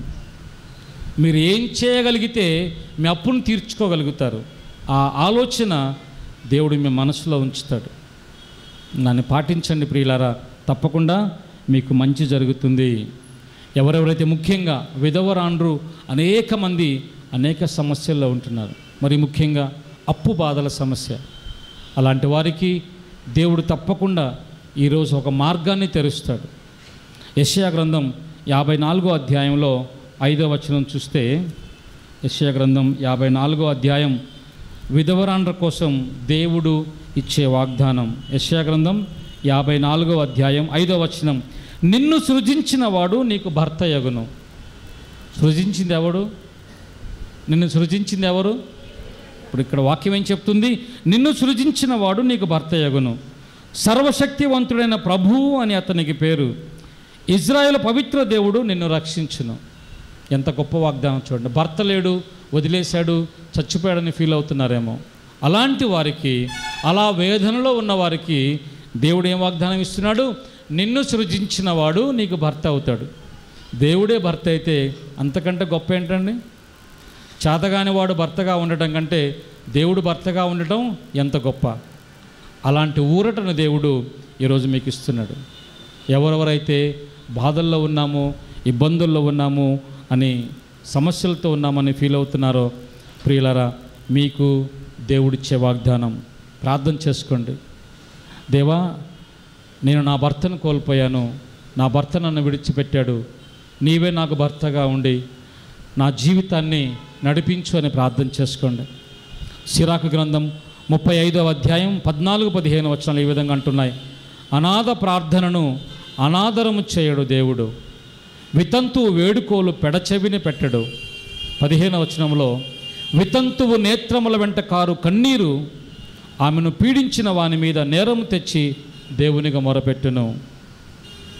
ఎవరెవరైతే వితంతువుల్ని పీడిస్తారో వారికి కూడా మంచిది కాదు. వారికి శాపగ్రస్తమైన జీవితం. వితంతువులు అనాథులు చేసే ప్రార్థన చాలా శక్తివంతమైన ప్రార్థనగా బైబిల్ మనకు తెలియపరుస్తుంది. అందుకే అంతటి అవకాశాన్ని అంతటి వాగ్దానాన్ని దేవుడు విధవరాండ్ర కోసం అనాథల కోసం బైబిల్ ఇస్తున్నాడు కాబట్టి మీరు ఎలాంటి శ్రమకు గురి కాకుండా ఎలాంటి అసహనానికి గురి కాకుండా నిరుత్సాహంలో పడిపోకుండా దేవుడు నాకు తోడు ఉన్నాడు అనే ఈ వాగ్దానాన్ని తీసుకొని ఈ రోజు నుంచి ప్రార్థన చేయండి ప్రియులారా. తప్పకుండా దేవుడు మీకు ఏదో ఒక మార్గాన్ని తెరుస్తాడు ఏదో ఒక నూతన జీవితాన్ని మీకు అనుగ్రహిస్తాడు. పిత పుత్ర పవిత్ర ఆత్మ నామమున లెచ్చలబడండి ప్రియులారా.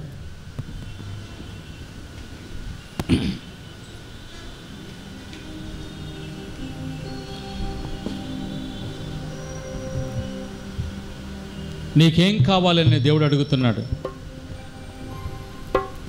నీకేం కావాలి అని గుడ్డి భర్తమైన యేసుప్రభు అడిగినప్పుడు నాకు చూపు కావాలి ప్రభు అని గుడ్డివాడు అడిగాడు.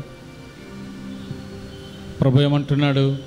నీ విశ్వాసము నీకు స్వస్థతనిస్తుంది వెళ్ళు అన్నాడు. ఈరోజు నిన్ను ఈ విధంగానే యేసు ప్రభు ప్రశ్నిస్తే నీవేం కోరుకుంటావు?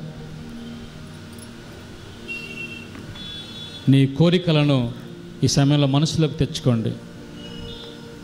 అంగీ అంచును తాకినటువంటి ఆ స్త్రీకి స్వస్థతనిచ్చిన దేవుడు ఉచితంగా స్వస్థతనిచ్చిన దేవుడు ఉచితంగా నీకు స్వస్థతనిస్తాడు.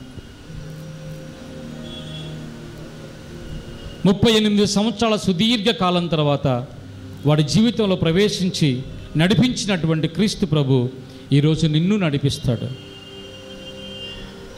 నీ అడుగులు తడబడినప్పుడు నీవు శ్రమల్లో మునిగి ఉన్నప్పుడు దేవుడు నిన్ను చేయి పట్టి నడిపిస్తాడు.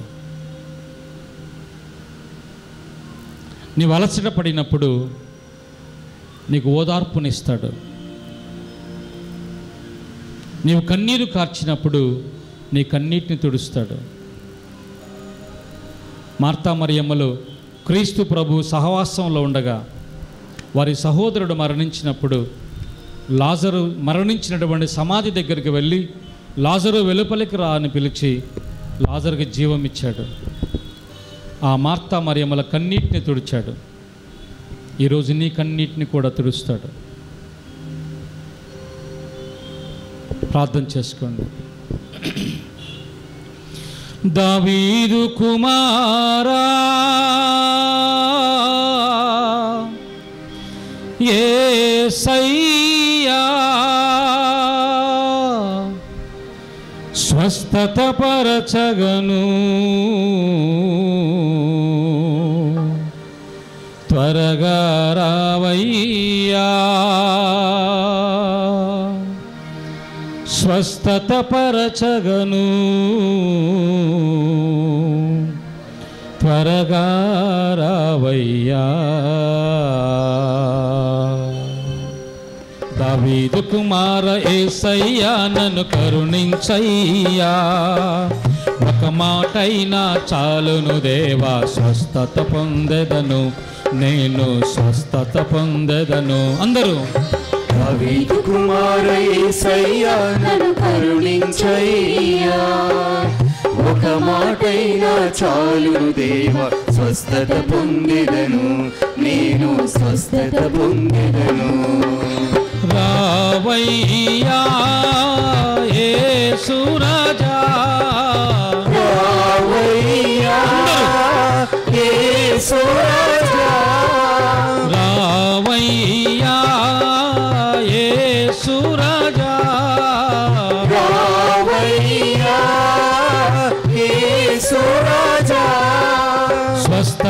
స్వస్థత పరచగను త్వరగా రావయ్యా.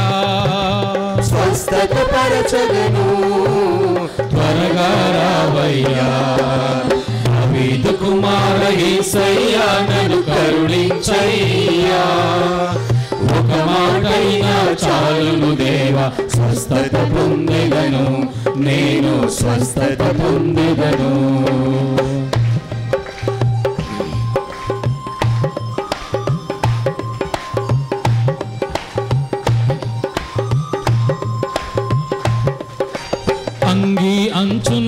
అంటగనే అద్భుత స్వస్థతనిచ్చావు. అంగీ అంచులు అంటగనే అద్భుత స్వస్థతనిచ్చావు.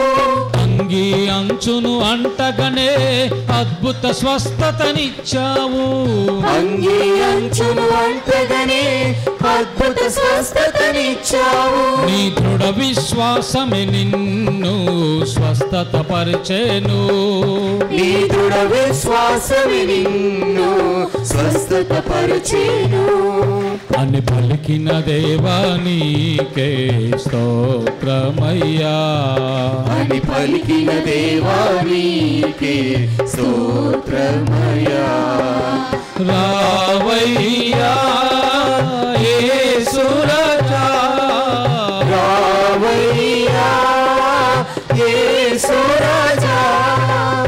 స్వస్థతపరచగను త్వరగా రావయ్యా.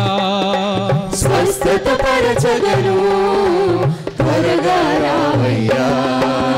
దావీదు కుమార యేసయ్యా నన్ను కరుణించయ్యా.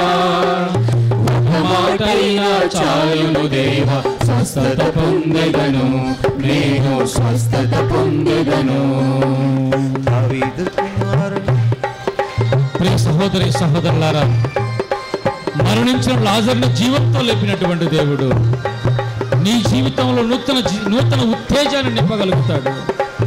మార్తా మరియమ్మల్లాగా అతని మీద నమ్మకాన్ని విశ్వాసాన్ని ఆయనతో సహవాసాన్ని పెంపొందించుకోండి ప్రియారా ఆయన సహవాసంలో ఉంటే ఆయన ఫ్రెండ్షిప్ నువ్వు కోరుకుంటే తప్పకుండా నీ జీవితంలో నీ కుటుంబంలోకి ఆయన వస్తాడు. నీ కుటుంబంలో ఏదైతే కొరతగా ఉందో ఆ కొరతను తీరుస్తాడు. ఆ కొరతను తీర్చుకోవటం కోసం ప్రభువుని అర్థించండి ప్రార్థించండి.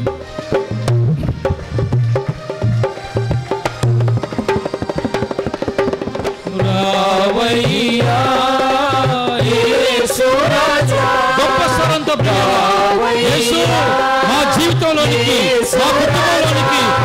మా వ్యాపారంలోనికి మా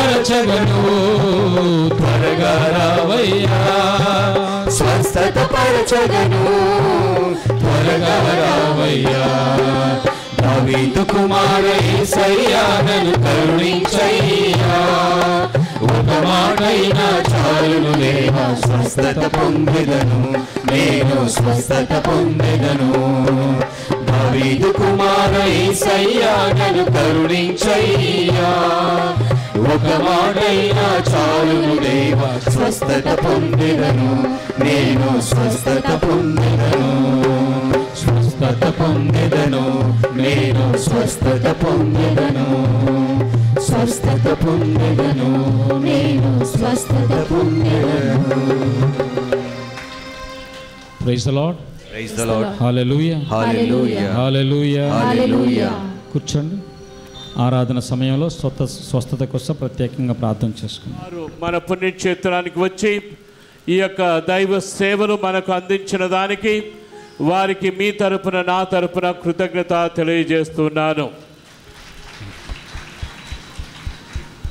మన పుణ్యక్షేత్రంలో జరిగే ప్రతి మంగళవారము పవిత్ర కార్యక్రమములు ఉదయము పదిన్నర నుండి మధ్యాహ్నం రెండున్నర వరకు క్యాథలిక్ హబ్ డాట్ టీవీలో టెలికాస్ట్ చేస్తూ ఉన్నాము. మీరు కానీ మీ పిల్లలు కానీ ఇతర ప్రాంతాలకు వెళ్ళినా అక్కడ కంప్యూటర్ ఉంటే ఈ యొక్క కార్యక్రమాలు చూడొచ్చు. ఉద్యోగం నిమిత్తము మీ పిల్లలు ఇతర ప్రాంతాలలో ఉన్నట్లయితే లేక విదేశాలకు వెళ్ళినట్లయితే ఈ కార్యక్రమాలు తప్పక వారు చూడగలరు. దాని నిమిత్తమే ఇదంతా చేస్తున్నాము. దీని కొరకు ఎందెందరో టెలికాస్ట్ ప్రోగ్రాం కొరకు వారు స్పాన్సర్ కూడా చేస్తున్నారు. ప్రతి మంగళవారం మనం స్పాన్సర్ చేయటానికి క్యాథలిక్ హబ్ వారికి పద్దెనిమిది వేల రూపాయలు చెల్లిస్తున్నాము ఈ మొత్తం మీకు వీలు కానట్లయితే మీరు ఎంత వీలైందో ఆ యొక్క సహాయం చేయొచ్చు. మీతో పాటు ఇతరులను కూడా చేర్పించి ఆ డబ్బు మొత్తం ఆ మంగళవారం టెలికాస్ట్కు మనం ఇస్తూ ఉంటాము. ఈరోజు ఈ యొక్క కార్యక్రమం స్పాన్సర్ చేసిన వారు ఒకే ఒక కుటుంబం. మేకల రాయప్పరెడ్డి అనీత అపూర్వ అన్మోల్ రెడ్డి రవికిరణ్ శ్రషత్ వారు. వారు పీబీఆర్ ఎస్టేట్స్ నల్లకుంట హైదరాబాద్కి చెందినవారు వారి యొక్క ఉద్దేశం మనమంతా ప్రార్థించాలని దేవుడు వారికి ఇంతవరకు చేసిన మేలులకు కృతజ్ఞతగాను. భవిష్యత్తులో కూడా వారి యొక్క తలంపులు నెరవేరాలని ప్రార్థించాలని కోరుతున్నారు మేకల రాయపురెడ్డి వారికి కృతజ్ఞత చెబుతూ వారి యొక్క ఉద్దేశముల కొరకు ప్రార్థించాము ప్రార్థిస్తామని కూడా హామీ ఇస్తున్నాము. మన పుణ్యక్షేత్రంలో ప్రతి మంగళవారము సారీ మన పుణ్యక్షేత్రంలో ప్రతి మంగళవారము పేదలకు అన్నదానము పునీత అంతోని వారి పేరిట చేస్తూ ఉన్నాము. మనం మామూలుగా సెన్ ఆంథనీస్ బ్రెడ్ అంటున్నాము. మరి బ్రెడ్ అనేది మన యొక్క భారతదేశంలో ప్రతి ఒక్కరికి ఆహారంగా ఉండకపోవచ్చు. ముఖ్యంగా పేదలకు త్రోవలు అడుక్కునే వాళ్ళకి వీలుగా అంతోని వారి పేరు చెబుతూ వారికి భోజనాలు పెడుతూ ఉన్నాము.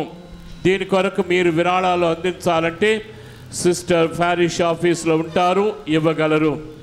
పునిత అంతోని వారి యొక్క బ్లెస్డ్ బ్రెడ్ బ్లెస్ క్యాండిల్స్ ఎప్పటికీ మీకు స్ట్రైన్ స్టాల్లో లభిస్తాయి.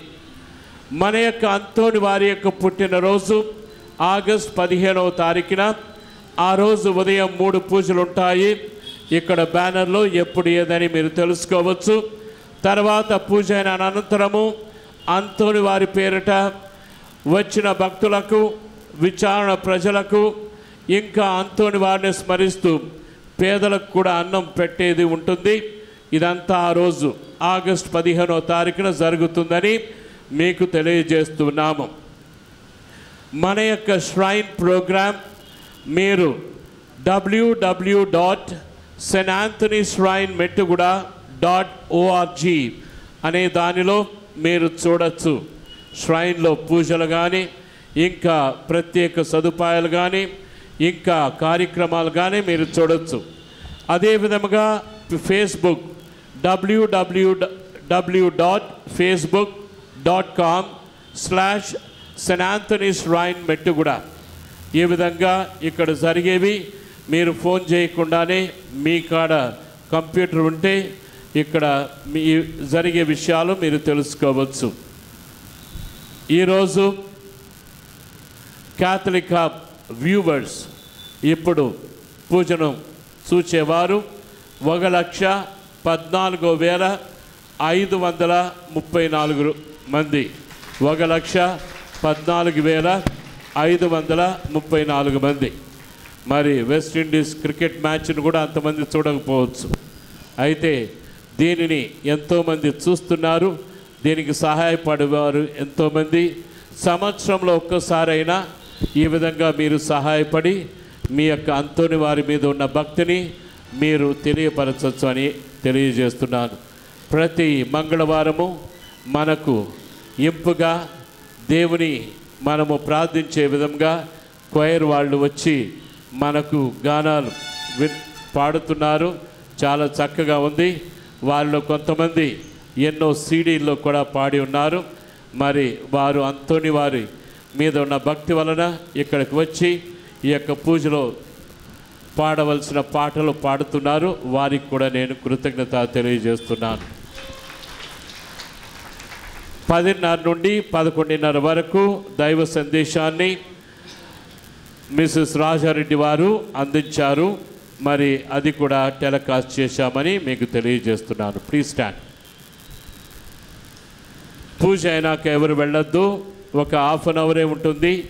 స్వస్థత ప్రార్థనలో పాల్గొని పూర్తిగా సంతోషంగా మీరు మీ యొక్క గృహాలకు వెళ్ళొచ్చు అని కోరుతున్నాను. ప్రార్థించుదము.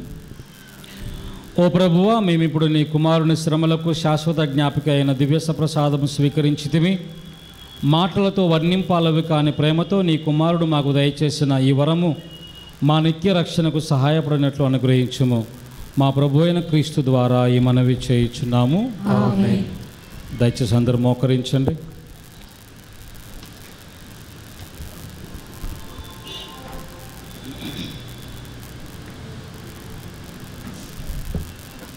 అద్భుత శక్తిగల పునీత అంతోని వారి ప్రార్థన.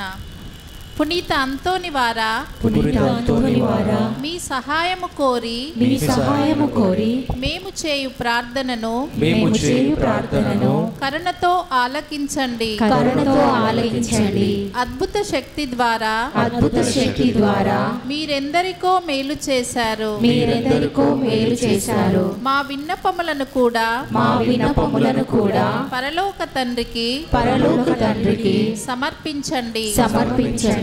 మా అవసరములలో మా అవసరములలో ఆదుకోమని ఆదుకోమని పరమదేవునికి పరమదేవునికి మనవి చేయండి. మనవి చేయండి. మా ప్రార్థన మా ప్రార్థన దైవ చిత్తమైతే దైవ చిత్తమైతే మీ వేడుదల ద్వారా మీ వేడుదల ద్వారా మాకు మాకు తప్పక సహాయం లభిస్తోంది. తప్పక సహాయం లభిస్తుంది.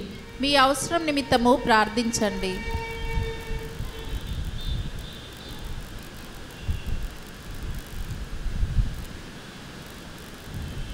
పునీత ఫ్రాన్సిస్ వారికి పునీత ఫ్రాన్సిస్ వారికి ప్రియ శిష్యుడిగా జీవించిన ప్రియ శిష్యుడిగా జీవించిన మీ భక్తి జీవితమును మీ భక్తి జీవితమును మేము కూడా మేము కూడా అనుసరించునట్లును అనుసరించునట్లును ఆచరించునట్లును ఆచరించునట్లును సహాయపడండి. సహాయపడండి. మీ వలె మీ వలె పేదలను ప్రేమించుటకు పేదలను ప్రేమించుటకు అనాథలను ఆదరించుటకు అనాథలను ఆదరించుటకు శక్తినివ్వండి. శక్తినివ్వండి. పాప మార్గము వదలి పాప మార్గం వదలి పవిత్ర జీవనములో పవిత్ర జీవనములో ముందుకు సాగునట్లుగా ముందుకు సాగునట్లుగా దీవించండి. దీవించండి. ప్రతి దినము ప్రతిదినము సువార్త విలువల ప్రకారము సువార్త విలువల ప్రకారము జీవించుటకు జీవించుటకు అన్ని వేళలా అన్ని వేళలా దైవ చిత్తానుసారము దైవ చిత్తానుసారము ప్రవర్తించుటకు ప్రవర్తించుటకు మాకు తోడుగా నుండండి. మాకు తోడుగా ఉండండి నిరంతరము నిరంతరము మేము దైవ సన్నిధిలో మేము దైవ సన్నిధిలో సోదర ప్రేమలో సోదర ప్రేమలో జీవించునట్లుగా జీవించున్నట్లుగా ఆశీర్వదించండి. ఆశీర్వదించండి. ఆమేన్. ఆమేన్. పరలోకమందుండెడు మా మా యొక్క తండ్రి మీ నామము పూజింపబడును గాక మీ రాజ్యము వచ్చును గాక మీ చిత్తము పరలోకమందు నెరవేరినట్లు భూలోకమందు నెరవేరును గాక నానాటికి కావలసిన మా మాకు నేటికి ఇవ్వండి మా యొక్క అప్పుడిన వారిని మేము మన్నించినట్లు మా తప్పులను మీరు మన్నించండి. మమ్ము శోధన ఎందు ప్రవేశింపడవగా కీడులో నుండి మమ్మల్ని రక్షించండి. ఆమేన్. దేవవర ప్రసాదము చేత నిండిన మరియమ్మ వందనము. ఏలిన వారు మీతో ఉన్నారు. స్త్రీలలో ఆశీర్వదింపబడిన వారు మీరే. మీ గర్భఫలము చేసు ఆశీర్వదింపబడిన వారగునే.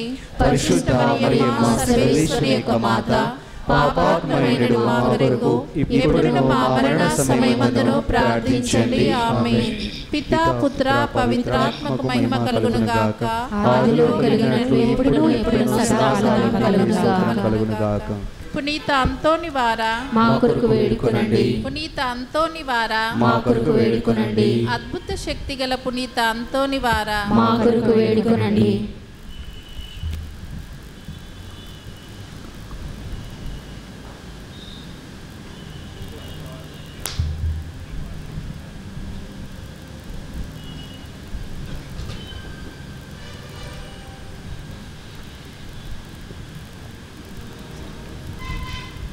పరిశుద్ధ పరమదివ్య సప్రసాదమునకు సదాకాలము ఆరాధన స్తుతి స్తోత్ర నమస్కార కలుగును గాక పరిశుద్ధ పరమదివ్య సప్రసాదమునకు సదాకాలము ఆరాధన స్తుతి స్తోత్ర నమస్కారం కలుగును గాక పరిశుద్ధ పరమదివ్య సప్రసాదమునకు సదాకాలము ఆరాధన స్తుతి స్తోత్ర నమస్కారం కలుగును గాక ప్రియ సహోదరి సహోదరులారా ఈ ఆరాధన సమయంలో ప్రత్యేకంగా మీ పిల్లల కోసం ప్రార్థించి ఈ ఆరాధన సమయాన్ని ప్రభు ముందు గడపండి. మీ పిల్లలు స్కూల్స్కి వెళ్తున్నారు. స్కూల్ ముగిసిన వాళ్ళు కాలేజెస్కి వెళ్తున్నారు. కాలేజ్ ముగిసిన వాళ్ళు ఉద్యోగం కోసం వెతుకుతున్నారు. ఉద్యోగం వచ్చిన వాళ్ళు వివాహం కోసం ఎదురు చూస్తున్నారు. మరి ఈ అన్ని సంఘటనల్లో మీ పిల్లలకు ఆటంకాలు వస్తున్నాయేమో ప్రార్థన చేయండి. ఈ ఆరాధన సమయం అంతా కూడా దేవుడు మీకు కానుకగా ఇచ్చినటువంటి మీ సంతానం కోసం ప్రార్థన చేయండి. మార్కు సువార్త ఏడవ అధ్యాయంలో మనం చూస్తున్నాము ఒక విదేశీ స్త్రీ యేసుక్రీస్తు ప్రభు ఒక ఇంట్లో ఉన్నప్పుడు ఆయన దగ్గరకు వచ్చి దయ్యం పట్టిన నా కూతురిని స్వస్థపరచమని ప్రాధేయపడినప్పుడు ప్రభు అంటాడు పిల్లల రొట్టెని తీసి కుక్కలకు వేయలేను అంటాడు. అంటే అర్థం నేను వచ్చింది ఇజ్రాయేలీల కోసం. ఈ ఇజ్రాయేలీలు పొందుకునే ఆశీర్వాదాన్ని నేను బయట వాళ్ళకి ఇవ్వలేను. అప్పుడు ఆమె ఏముంటుంది? బల్ల నుంచి పడినటువంటి రొట్టె ముక్కలను కుక్కలు తింటాయి కదా అదైనా నాకు చాలు అని అన్నప్పుడు యేసుప్రభు అంటున్నాడు ఇరవై తొమ్మిది వచనంలో అందుకు ఆయన నీ సమాధానము మెచ్చదగినది. నీ కుమార్తె స్వస్థత పొందినది. ఇక నీవు పోయి రమ్ము అని చెప్తున్నాడు. ఆ తల్లిలో ఉన్న విశ్వాసాన్ని చూసి కుమార్తెను స్వస్థపరిచాడు. బహుశా మీ పిల్లలు ఇక్కడ లేరేమో. స్కూల్కి వెళ్ళుంటారు కాలేజీలకు వెళ్ళుంటారు జాబ్ చేస్తూ ఉండుంటారు ఎక్కడో వేరే ప్రాంతంలో దూరంగా ఉండుంటారు. కానీ వారికి ఏ ఆటంకం ఉన్నా సరే ఏ శ్రమ ఉన్నా సరే ఈరోజు మీరు విశ్వాసంతో ప్రార్థన చేస్తే ఈ దివ్య సప్రసాదములో ఉన్న క్రీస్తు ప్రభు తప్పకుండా మీ విశ్వాసాన్ని చూసి మీ పిల్లలు ఎక్కడ ఉన్నా సరే వారికి మంచిని చేస్తాడు. అందరు లేచి నిలబడండి ప్రియులారా. నువ్వు ఉంటే నాకు చాలు ఏసయ్య అనే పాట పాడుకుంటూ ప్రభువా నా కుటుంబంలో నాకు నా బిడ్డలకు తోడుగా ఉండు. అన్ని శ్రమల ఇబ్బందుల్లో ఎంత కష్టం వచ్చినా ఎంత నిష్ఠూరం ఉన్నా నిన్ను విడిచి నేను వెళ్ళకుండా నీ సన్నిధిని అంటిపెట్టుకుని ఉండులాగున నీ విశ్వాసంలో మరింత బలపడలాగున నన్ను నా బిడ్డలను దీవించు అని ప్రార్థన చేయండి. నీ ఉంటే నాకు చాలా ఏసయ నీ మాట చాలు నీ చల్లని చూపు చాలు నీ తోడు నీడ నాకుంటే చాలు అంటూ విశ్వాసంతో ఆయన సన్నిధిని నిరంతరం అనుభవించడం కోసం ఆయన కృపలో మనం బలపడటం కోసం ప్రార్థన చేసుకుందాం. నీ మాట చాలయ్యా. చల్లని చూపు చాలయ్యా. నీ తోడు చాలయ్యా. నీ నీడ చాలయ్యా. దచ్చందరు నేను పాడిన తర్వాత కలిసి పాడండి. చప్పట్లు కొడుతూ పాడదాం. నువ్వుంటే నాకు చాలు ఏసయ్యా నీవుంటే నేను ఉంటానేసయ్యా నీవుంటే నాకు చాలు ఏసయ్యా నీవుంటే నేను ఉంటానేసయ్యా నీ మాట చాలయ్యా నీ చూపు చాలయ్యా నీ తోడు చాలయ్యా నీ నీడ చాలయ్యా నీ మాట చాలయ్యా నీ చూపు చాలయ్యా నీ తోడు చాలయ్యా నీ నీడ చాలయ్యా నీవుంటే నాకు చాలు ఏసయ్యా. నీ వెంటే నేను ఉంటానేసయ్యా నీవుంటే నాకు చాలు యేసయ్యా నీ వెంటే నేను ఉంటా యేసయ్యా ప్రియులారా మీ కుటుంబంలో మీ బిడ్డల జీవితంలో ఎన్నో బాధలు ఉండొచ్చు. మీ పిల్లల కారణంగా మీకు ఎంతో శ్రమ ఎదురవుతూ ఉండవచ్చు. మీ శ్రమంతా వ్యర్థమైపోతుందేమో అనే బాధలో నీ ఉంటూ ఉండవచ్చు. ప్రయోజకులుగా చూడవలసిన మీ పిల్లలు నాశనం అయిపోతుంటే నీ కళ్ళ ముందే పాడైపోతుంటే అది తట్టుకోలేకుండా పోతున్నావేమో. ప్రభువా నీవు తోడు. నాకు నా పిల్లలకుంటే మేము బాగుపడతాము. మాకు మేలు జరుగుతుంది. మాకు మంచి చేకూరుతుంది అనే విశ్వాసాన్ని ప్రకటించండి ప్రియులారా.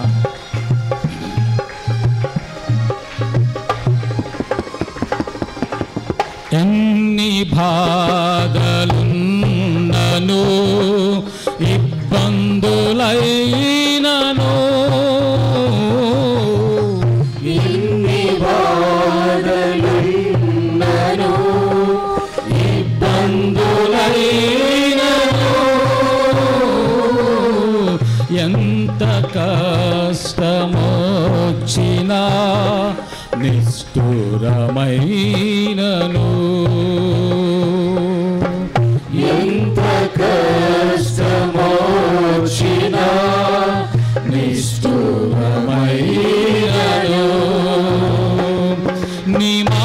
చాలయ్యా నీ చూపు చాలయ్యా నీ తోడు చాలయ్యా నీ నీడ చాలయ్యా.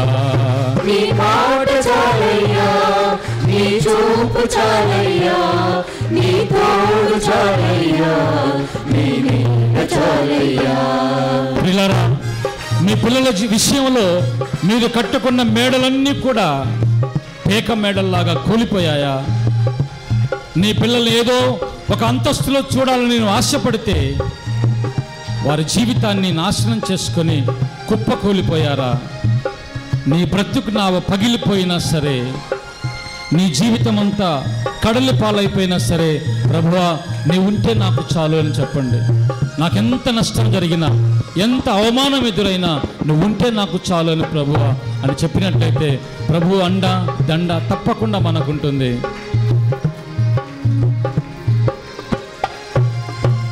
బ్రతుకునావా? పగిలినా? కడలి పాలైనను? బ్రతుకునా? పగిలినా? కడలి పాలైన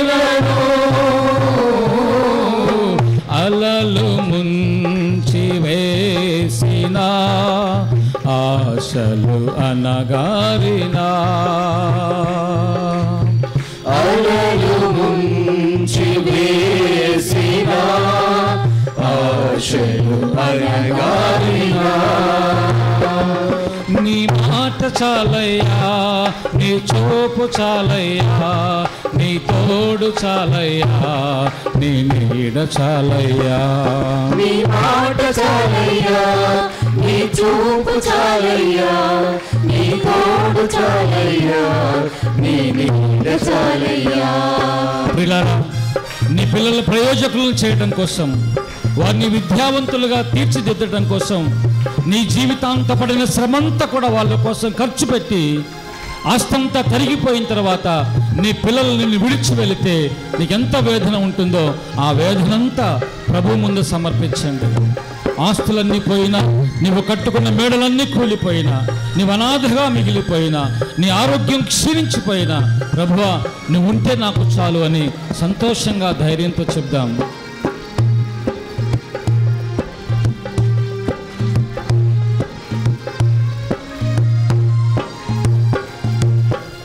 ఆస్తులన్నీ పోయినా అనాథగా మిగిలిన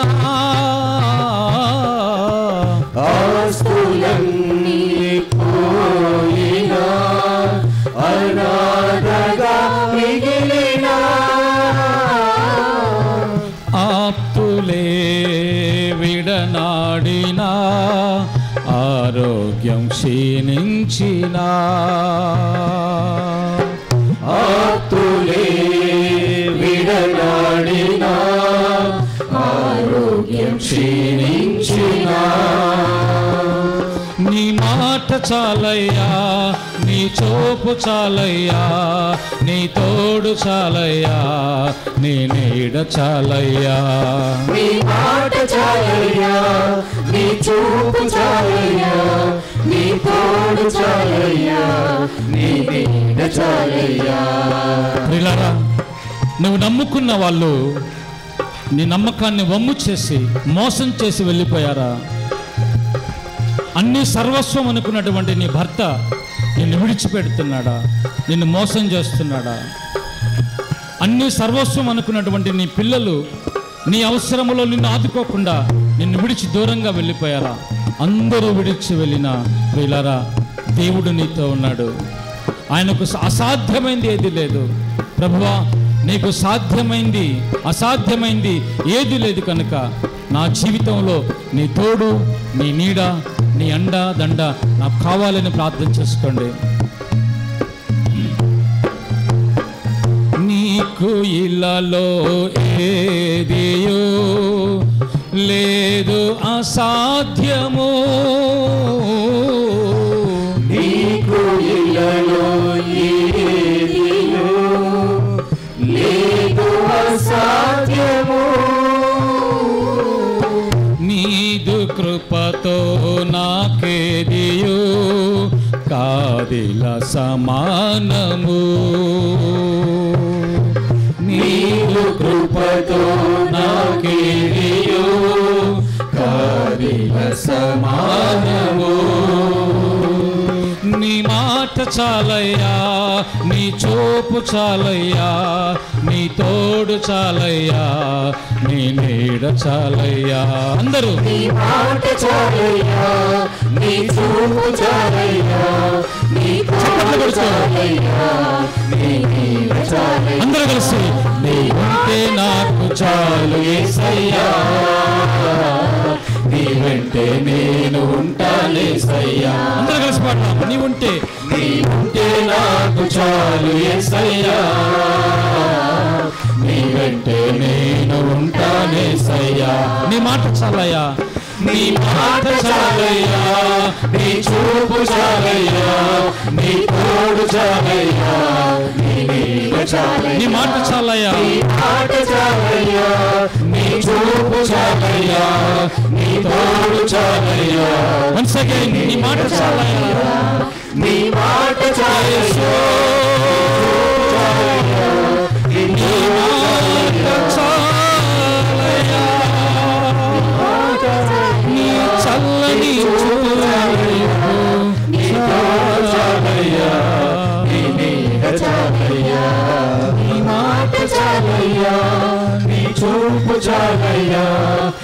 తోడు చాలయ్యా నీ చాలయ్యా.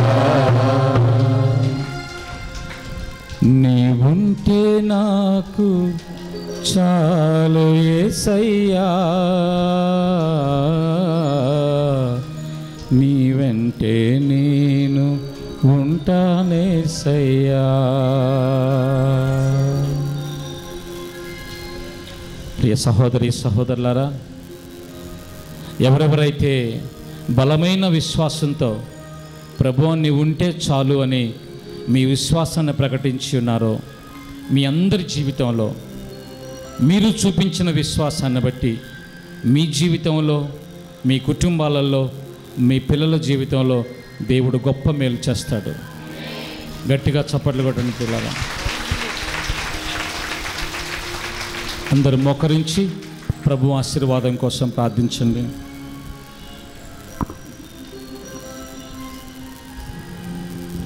ప్రభువు మీతో ఉండునుగాక.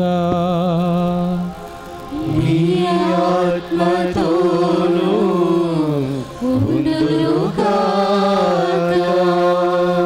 సర్వశక్తిగల సర్వేశ్వరుడు పితా పుత్ర. పవిత్రాత్మ సర్వేశ్వరుడు మనందరిని దీవించి సదా సర్వదా కాపాడుదురుగాక.